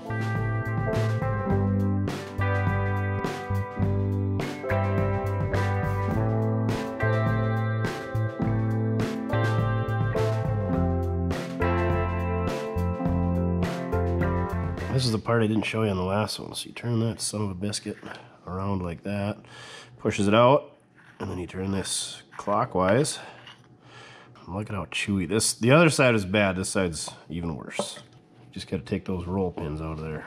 I'm gonna go clean this up, and that's it for parts to clean up. We can stick it back together, even though it's not in very good shape. So I hit this with some brake cleaner, and I also hit that cut on my thumb. Found it. So I'm wondering I got that ultrasonic cleaner, which Chin's got stashed away in his shed because his old lady doesn't like the smell of pine sol in the garage. Anybody use one of those ultrasonic cleaners to take grease and stuff off like this? Does it does it work? Comment down below. Let me know before I waste my time trying it. I probably should get a parts washer. You know what I would need? One of those Cudas. If somebody wants to buy us a Cuda parts washer, parts cleaner thinger, that would be, I would be forever indebted to you. Those things are the cat's pajamas. Until then, brake cleaner and air hose it is. Ready to put that side back together. So you know how I usually rate a job on how difficult it is by how many beers it takes? Well, in this one, it's by blue paper towels and by brake clean. This is a two can of brake clean and a half a roll of paper towels. Tech tip of the day, always keep a box close to your toolbox for throwing trash in. That's a lot of blue paper towels. The two cans of brake cleaner in the trash. And a lot of hand soap. We should be able to put her back together until we get new bearings until we find something else wrong. That's the other thing I'm wondering. How smoked is that front end? Because you know the U-joints in the axle shafts and the bearings in the differential and the bearings at the ends of the axle tube and all that is just as freaking bad. So if anybody's got like a, a disc brake factory 77 front end, now we're talking. Okay, keep plugging away.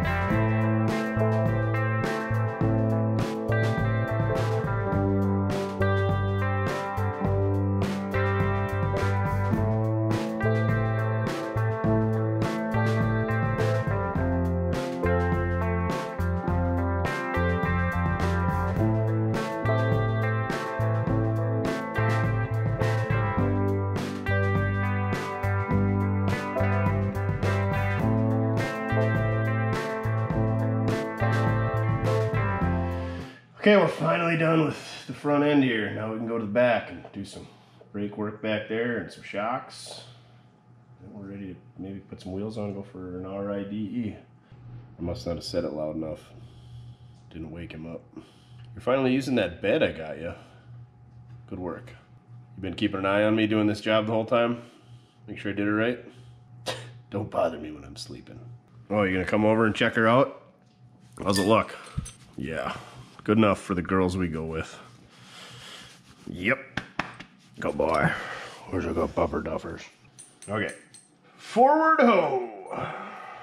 Let's knock out the rear brake. What kind of surprises are we gonna find here? Why are we doing these again? These don't look half bad. Other than the shoe is kind of delaminating. We got the parts. I guess we'll stick them in.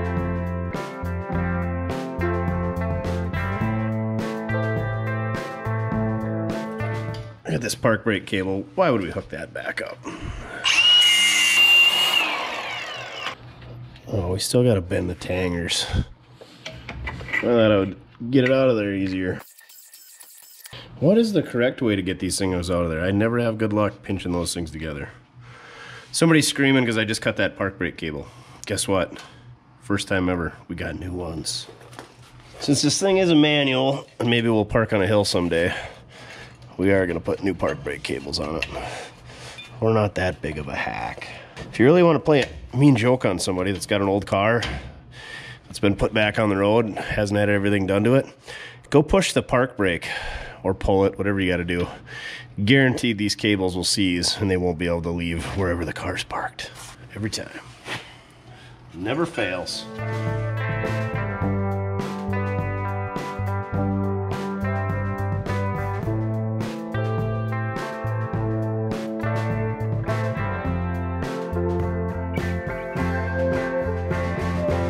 Just gotta throw a fresh coat of paint on the drum. And the brakes are done over here. Oh, I guess we gotta crawl underneath and either hook that up or zip tie it out of the way. Cut the old one off. Park brake cables. Let's put a shock on. Oh, head bushing is toasty toasty. I want you to do something. Not doing that again. I burned. Mm, mm, mm, toasty.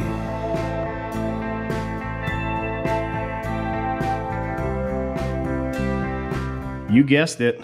Shock doesn't fit.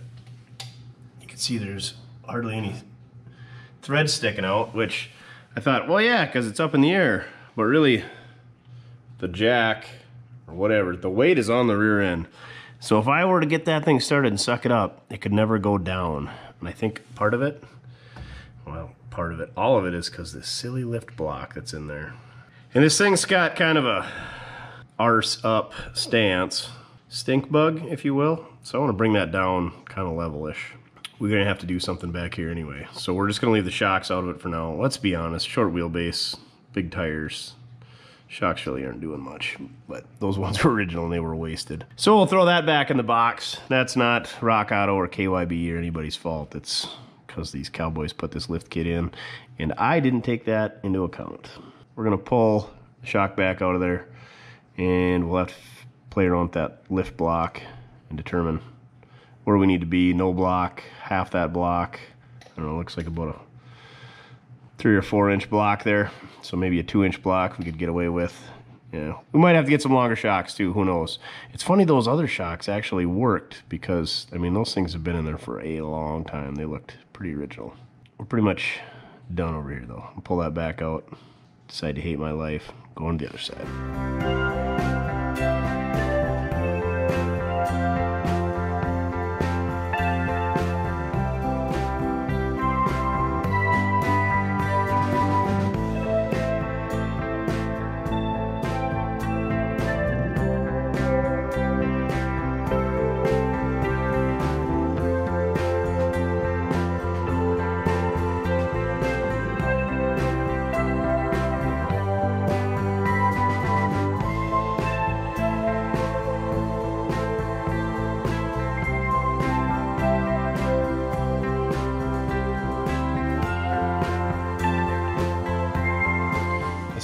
Paint nothing. See, look at how good I am at it.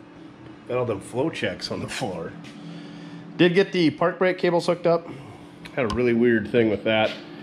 The one on the passenger side seemed to be way too short.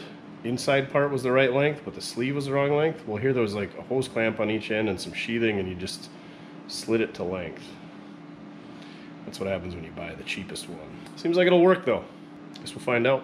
I'm gonna pick up my mess and have a sandwich. I think we're gonna call her night. Let that paint dry. Then tomorrow maybe go for an RIDE.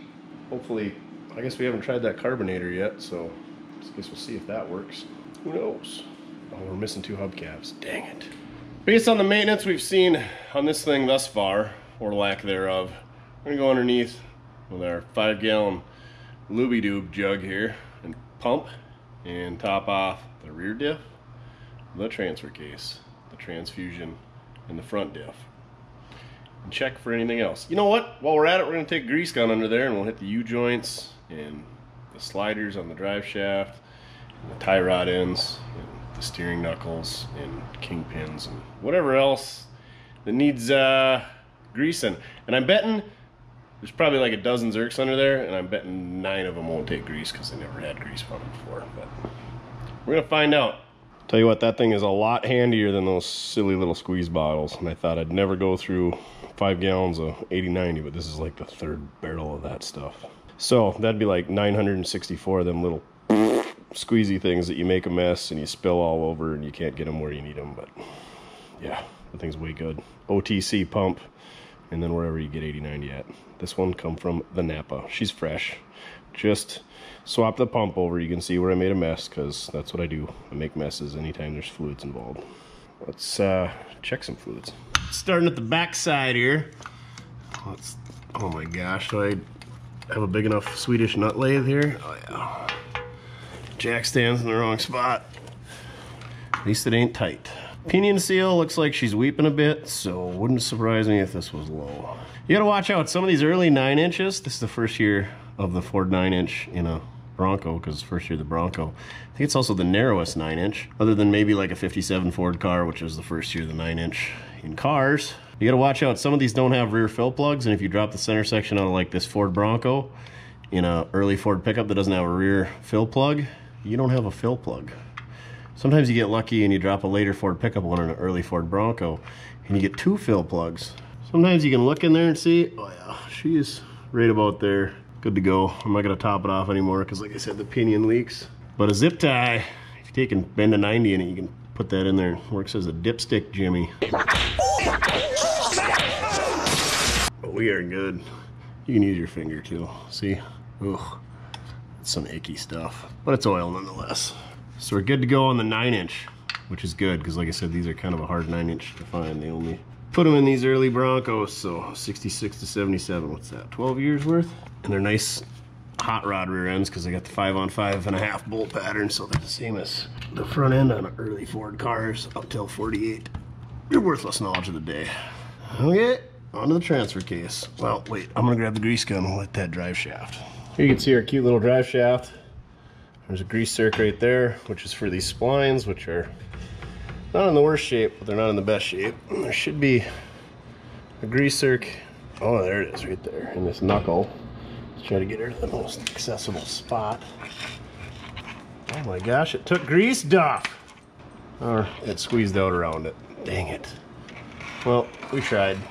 How about this Zerk? I call them Zerks. A lot of people call them Zerts with a T. I say with a K. I don't know. Google it. What's the difference? Is there such a thing, or people making names up? What do you call them other than grease Zerks? Grease nipples? It's a pretty good one too. I don't think this one's been greased in a while. And then we got this, I don't know what they call them, joint up here. Card, Cardan, Kardashian, Card, Cardinal, something. These are a real treat. I think you're supposed to have a little pointy end to get way inside there to get the ones in the middle, but of course, I didn't bring that down here. Yeah, not one to take grease. Is there one on this front joint? Should be, right? Guess not. And there's like a ball that pivots in the middle here. You're supposed to grease that. You need this pointy little needle to get in there. Oh, there is a Zerk right there, but there's absolutely no way you'd ever get on it. Short of taking the drive shaft out. Okay, onto our transfer case. This thing's painted blue like somebody's had her out before. She's a Model 20 Dana, it looks like. I think that's a 20. There's a drain plug right here, fill plug right here, so let's pop that out.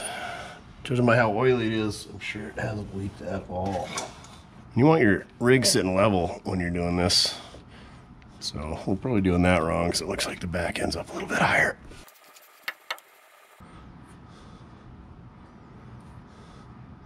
Can't feel any oil. None on the fingertip. Let's put a couple of pumps in there.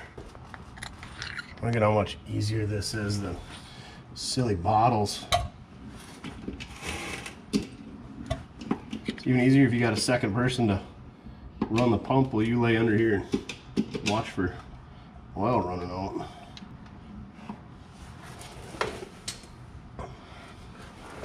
She's full. And we continue spilling because that's what we do. All right, now we can go on to the transfusion. We got our front drive shaft here, same deal. Card cardan joint, I don't know. Slip yoke and a grease zerk on the front U joint. There's our drain plug on the transmission. And there's our fill plug. Let's pop it out and see what we got. It's probably like a 9 16 wrench, but the old Swedish nut lathe. So convenient for taking these pipe plugs out. Except sometimes it really isn't. There's grease on the end of the plug, so I'm guessing she's right up there. Yep. Transmission's all painted blue too, like somebody worked on that once. So up here, looks like our kingpins, there and there, I don't know, I guess I'd call it a kingpin. Doesn't have any way to grease it. Our knuckle on our front axle shaft doesn't have a grease. There's a grease on each end of the tie rod here. One of them's a new one we just put on, and then our drag link's got a couple. So pretty easy. And then we'll pull this plug out on the front diff here, which is an Allen, because somebody put that 90 degree thing on it. As I was greasing that front drive shaft, there's an awful lot of play. Remember how I was talking earlier? How that front end, if the uh, hubs are any indication what the rest of it's like, yeah, that front bearing is either super loose or super gone. She's trashed. So I see a front diff rebuild in our future. Yay! Yay! Let's see if it's got any oil in it. Oh man, is that a brass plug? Dang, that's a good one. Usually they're steel. Man, it's got oil on it. Ooh. Oh, there's uh, some water in there. See that just on my fingertips. Definitely water in there. Probably because it didn't have a breather tube for 100 years until we redid the brake lines and put one on there. Okay, we're just uh, gonna run it because like I said, it's got something in it and we know it's pretty much smoked anyway. Awesome. Let you wrap it up for maintenance. We know we need a pinion seal. We know we need to go through the front diff. And we know that the drive shafts should come apart and get greased and probably rebuilt with some new splines and the slip yokes. Might as well put U-joints in it we're at. Might as well just put two new drive shafts in it. Just bust out the piggy bank. But it'll run for what we're gonna do for now. Let's put a little ground strap down here, tying the chassis to the engine. We already had one going from the engine to the body. And of course, our main ground goes from the battery to the engine. And I realized we've never had an air cleaner on this thing, and it didn't come with one. So I went and dug through my stash, because I like original air cleaners. Found this one off a 55 Ford, but it doesn't have clearance to go around the choke mechanism, doodad, and the bracketry. So I had this little chrome one on my shelf for eternity, because somebody gave it to me, and I hate little chrome air cleaners. Put that on the list of things I despise. Anyway, when you get it on there, I'm like, man, that sits real high. Sure enough, hits the hood. And part of that's because you got to have that little adapter on there. Oh well. But even without that adapter, it's not going to clear the hood. So I looked on the interwebs and it looks like there's a rectangular tube that comes over here and then it drops down into an air cleaner. That's what we need. So if you got one of those, hit us up, mortskerepair at gmail.com. Otherwise, we're to have to make something and drop it down, maybe bolt it to that valve cover, see what we can come up with. I couldn't even find one on Fleabay. All I could find was ones for like Comets and Mustangs, and like I said, those probably are to sit up too high or get into that choke stuff. So we'll have to figure something out there. Hopefully we don't suck in too much dust. Not good. Also, this is a Baldwin filter. It's not a Fram filter. It's red, not orange. You know me. I don't really care for the Frams. And so don't jump me about running a Fram filter because it is clearly a Baldwin. Not Steven or Michael or whatever the other Baldwin brother is. Billy? Is that the other Baldwin brother? Billy Baldwin. Now what are we gonna do? I guess not have an air cleaner. Right, Duff? Right. We should put some wheels on this thing, eh? No, not A A A A A. Yeah, that's what I said. A A A. Look at our parts pile dwindling down. Still got that turn signal assembly. These gaskets I couldn't put in the taillights because the new stainless screws that I scrounged up are not long enough to grab enough threads. So I need some longer taillight screws. We also need some longer shocks and we didn't really use the brake stuff. So really, should we rip into that column, Duff? Get that over with? Fish those through there? Let's do that. It's raining out and you can see our wipers are gonna scratch up our windshield, which is already scratched up and cracked and needs a seal. Good news is it's just flat safety glass, so should be relatively affordable compared to the rest of the stuff on this thing. Right? You just want me to open the door so you can climb in. Fine. Check it out. Let's pull that steering column apart for the 943rd time, hey? You want me to grab you the puller? All right, I'll get you the tools. You do it.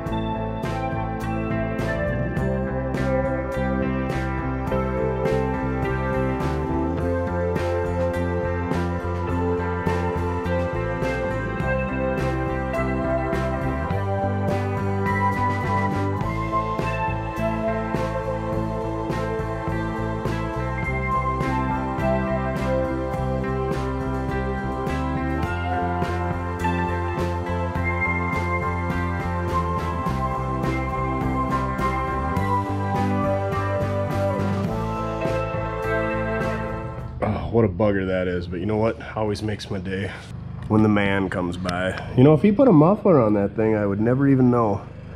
We're back in slippers, no mask, rocking the pajamas. We got the gloves on. Oh yeah, he's just bogging through them puddles today. I wonder how many miles that thing has on it. John Deere should send out an award. Talk about a test of patience this thing is here. I don't even want to know how many hours I got into this steering column. And if these blinkers don't work when we're done, I'm done with it. Okay, so we got our blinker assembly, turn signal assembly, whatever you want to call it in there. And you can see when you move your arm, it moves that guy. So self-canceling blinkers, whenever those come out, they had them in 66. So you turn your blinker to the right, so when you come back left, your steering wheel will hit this guy, bumps it off. When you hit your left blinker, your steering, you turn left, it can trip past this, and then as you go back right, it hits it and trips it back that way. This little guy is what does that. However, these aftermarket steering wheels, adapters, this one anyway, it should have a, a lobe on there to hit that. So we're not going to have self-canceling blinkers. We're going to be like the big rig truckers and just have to turn them off ourselves. And then these two posts, one's power and one sends a signal to the horn when you hit the horn and they ride on those little guys there. Hopefully that stuff's in good enough shape so when we hook up the battery it don't arc out. I guess worst case scenario would just turn the horn on. Well, provided it wasn't arced out to this aluminum case, which was goes down the steering shaft, which ties to the chassis, that would not be good. Let's stick this son of a biscuit back together, and then we'll go underneath, and we'll take our old connector, and I got this sweet tool I'll show you for how to get those old pins out, and we got to repin it onto this new one. What I learned on this is usually I fish those wires through a wire. It's actually a big enough casing on there that when you put the tape on it, it's not big enough, but you can actually fish the wires through without taping them together and putting them on a piece of wire. So Ford got that right. Pretty easy to push down through there. All right, let's put this back together.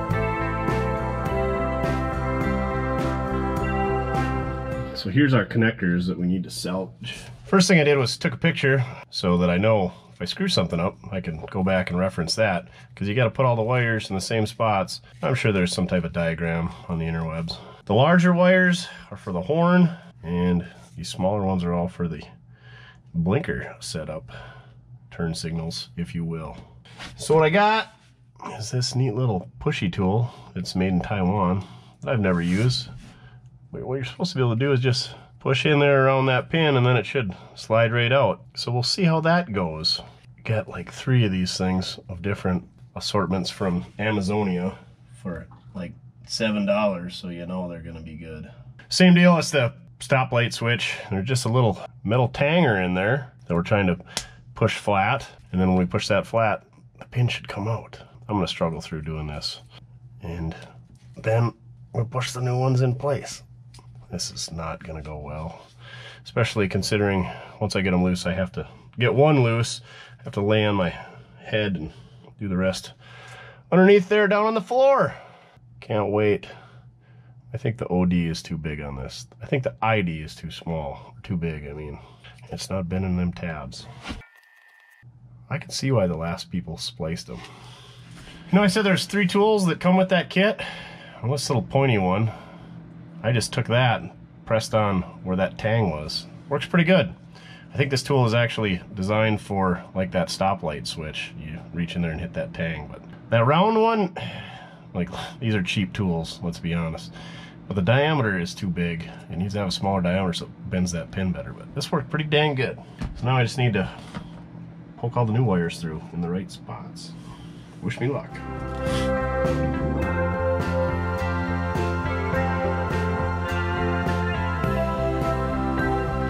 Ugh. I mixed two of them up. We gotta go check out my phone, but man, he's got a big old load of groceries in there. He's not gonna have to go back for a while. Is that a bag of cat food? I'll imagine that. More man's a cat guy. What do you think about that, Duff? Yeah, cat guys are strange. I mean, Dwayne, if you're watching, the guy who's always grumbly about me, you, you probably have cats. You're, you're totally fine. All right, I'm gonna check out my phone, try to figure out where that last blue and white wire went, because they slid out and I lost track.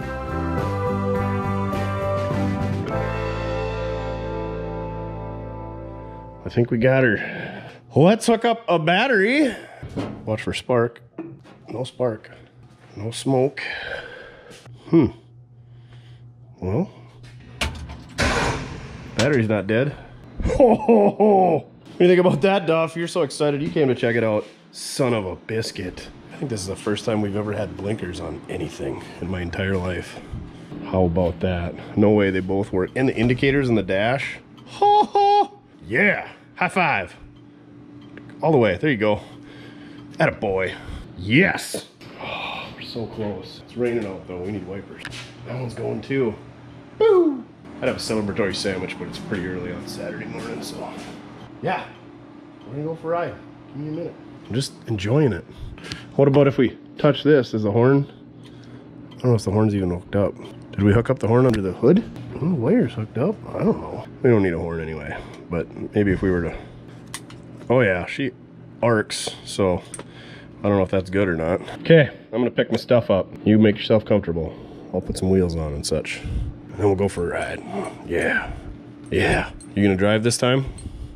Probably not such a good idea. I don't think you got your license yet. Got our wheels stuck on.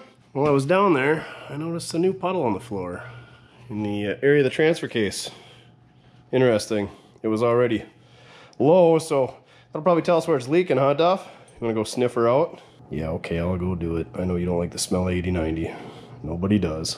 Well, that was pretty easy. Looks like the front output shaft is leaking. It's not coming out around the seal though. It's running out the center of the nut on the shaft. That's weird. Usually, usually it should leak right here on the seal. This looks like it's running out past the nut. Hmm, interesting to say the least. Be a good time to put that seal in there though anyway. The splines are pretty tight on this front drive shaft though. That's good. Leak, not so good. Eventually it'll quit leaking once it gets low enough. That's how you know when it's empty. Let's get this thing on the ground and see if Chin's new carburetor is top notch. I'm sure it is. Well, fill up the bowl with some hot sauce. See if she takes off. You got much faith? Let's make sure it's out of gear this time. This one was the one that run over the camera back in the day. Well, is it in gear? I don't think so. Just kidding. It's in gear. I did look underneath. I need to adjust the linkages a little bit. That hole where the like an eighth inch drill bit goes through. Not everything's quite lined up. So also there's a bushing underneath there we need to address. Oop, popped right off. Until it didn't.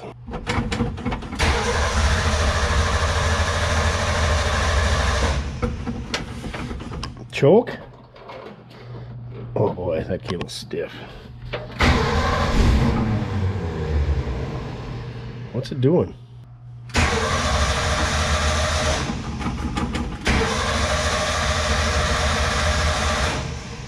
Got any ideas?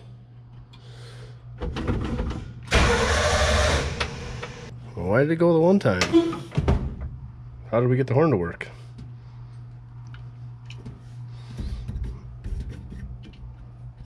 Weird. I don't know. Give her some more hot sauce. And there's gas running everywhere. Oh, somebody never tightened that line up. Yeah, that would help.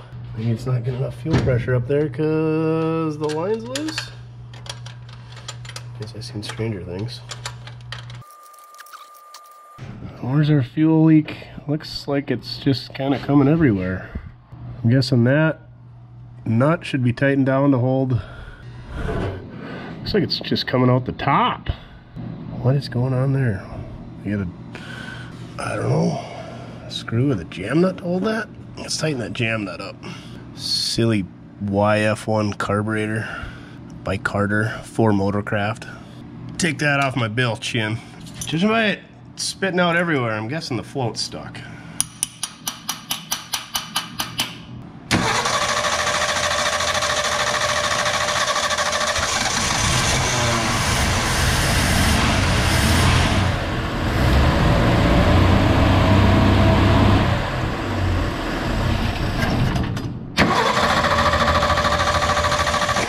Let's turn the idle up a skosh.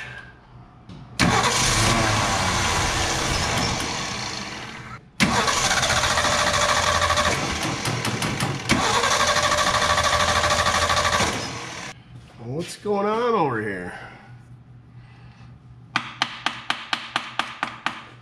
Not getting enough fuel? Too much fuel.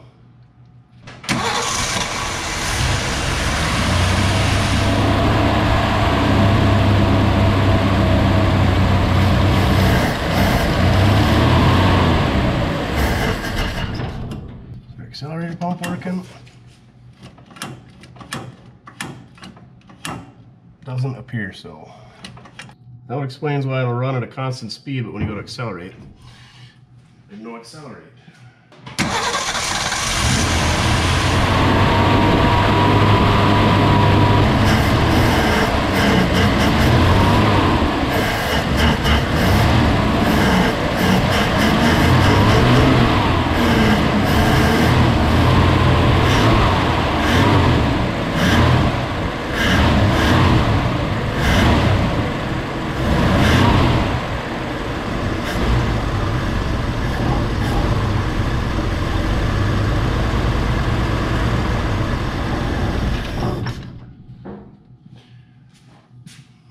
Seems like it works all right with some choke.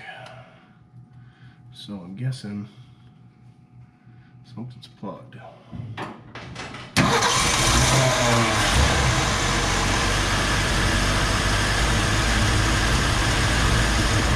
what happens when I take the choke out?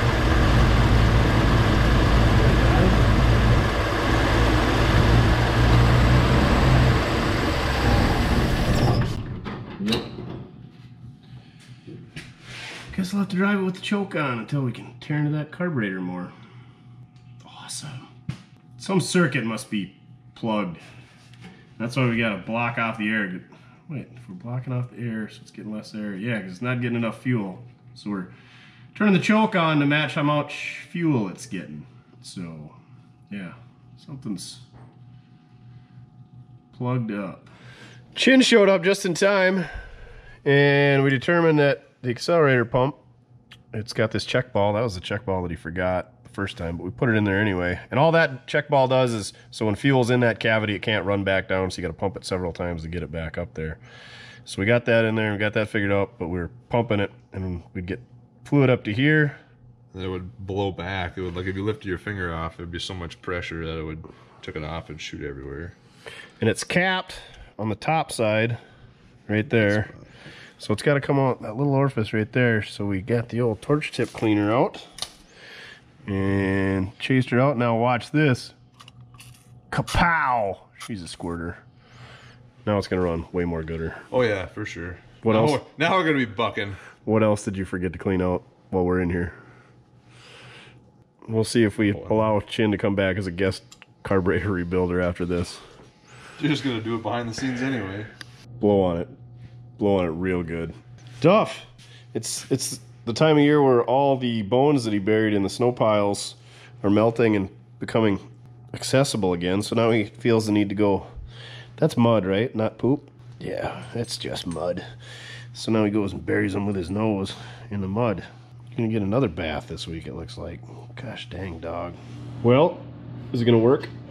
Maybe better, I guess. We'll see. It squirts. 50 50 90 rule. Either it is or it isn't. 90% chance it isn't. Hook your battery cable up, my boy. Okay, let me put that on there for you.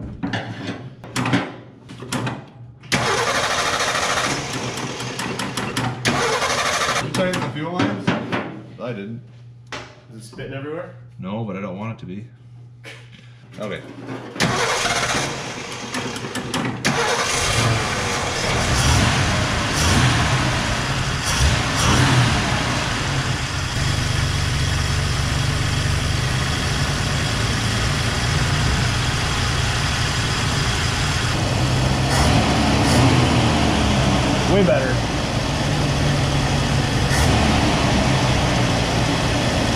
Port was probably all that was plugged the first time too. You're a freaking carburetor genius. Aw. Oh, you're so excited, Duff? Will it start again though? Ho-ho! What a deal. Almost starts as good as the 64 Impala wagon. One day we'll get the beater roller out and we'll make that door panel. And find an armrest and weld that back together so we can mount it. Until then, we're just gonna drive it. Sure looks terrible without those hubcaps though. Chin's over here trying to put on wiper blades because it's raining out. Got my side done. And then I realized, how do we turn these things on? Where's the switch at? Played with them all. Look up here. See that switch? See that hose? They're vacuum and they're not hooked up. Well, there's a nail here. So we can run it by hand. But you don't have any thumbs, so you can't run your side because they're not tied together. So we're just gonna put some Rain-X on it. We're gonna make a little B-double-E-double-R-U-N with the old horse here. We got some lattes, some friendlies, some Coors casseroles, ham and cheeses. Ooh, point special, Wisconsin's. More ham and cheese, casseroles. Our uh, Rhombus guys, iconic blondes, Busch apples, blue ribbons. We got all kinds of good stuff back here. Some natties, some Rainier, some Leinie's, summer shandies. I haven't tried one of these yet. Blue Moon Light Sky Citrus Wheat. And they're in the skinny cans, so you can't drink those in public or people will harass you. We got to get these to a place and do a thing. So we're to see if we can't get them there with Das Bronco. Duff! Go for a ride?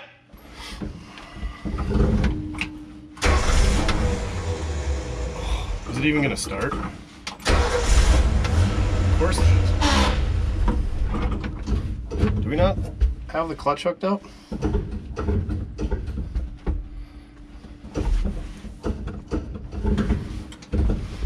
Well, better check that. Okay, the rod came unhooked underneath there. I suppose when we unhooked it underneath the dash, it came unhooked underneath the uh, Bronco here.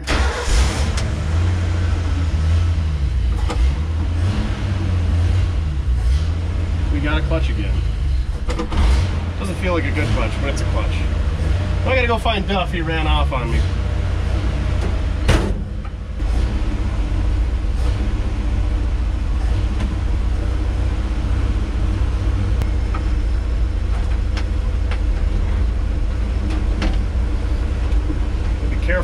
goods back there. Not not the right goods to be hauling without any rear shock. Oops.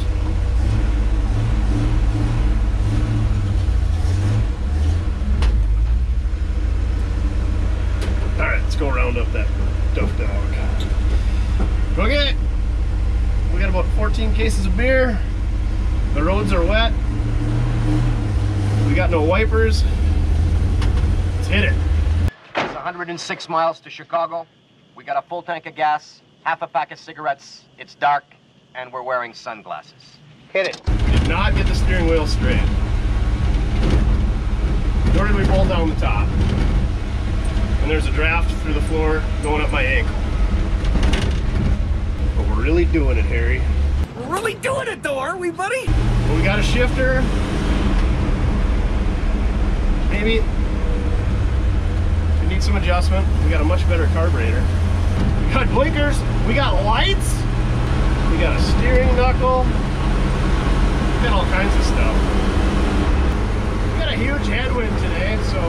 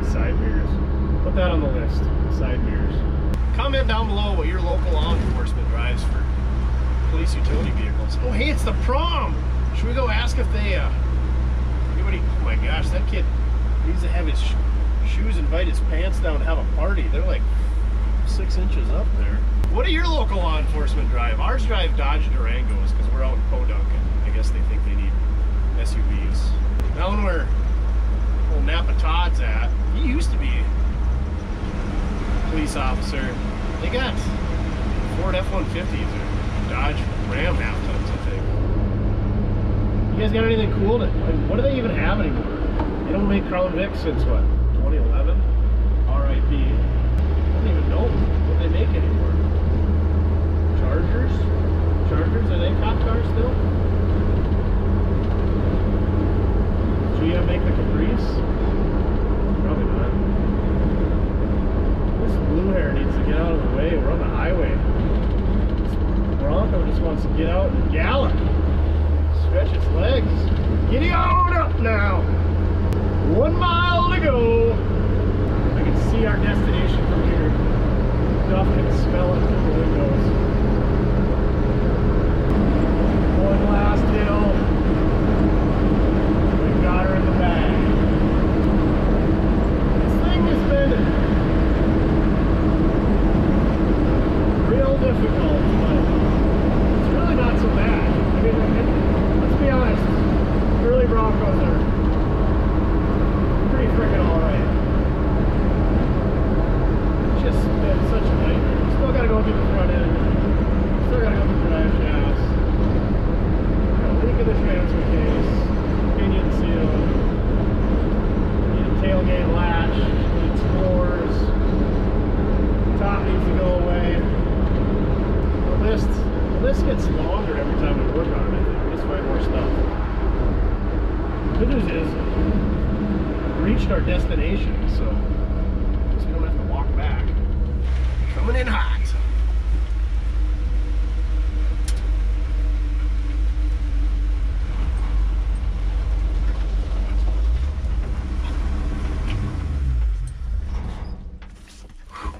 Made it, Duff. Well, there you have it. We got our 1966 Ford Bronco back on the road. We got a shifter working, we got lights working, blinkers working, we got seats that are securely mounted, kinda. We got new wheel bearings and seals. We found a plethora of the other issues. We got the fuel tank strapped in. We just, we did all kinds of stuff this week. We got our fluids filled up, topped off, grease zerks, zerked, greased, tie rod end replaced, new tail lights. We did all kinds of fun stuff this week. So I appreciate you watching. Check out the other videos on the Bronco. Check out the other videos we got. Think about getting yourself some Mortske merch down below. Maybe even think about joining the Duff Approved Club. Much behind the scenes stuff we got going on for you good folks that have already joined that. Check out our other videos. But most of all, doesn't matter how you get it done, as long as you're having fun. Thanks for watching, everybody. I think this Bronco is going to be a lot of fun. Anybody know anything about Toyota Stouts. They're pretty ugly. That's what I know. And you don't see many of them.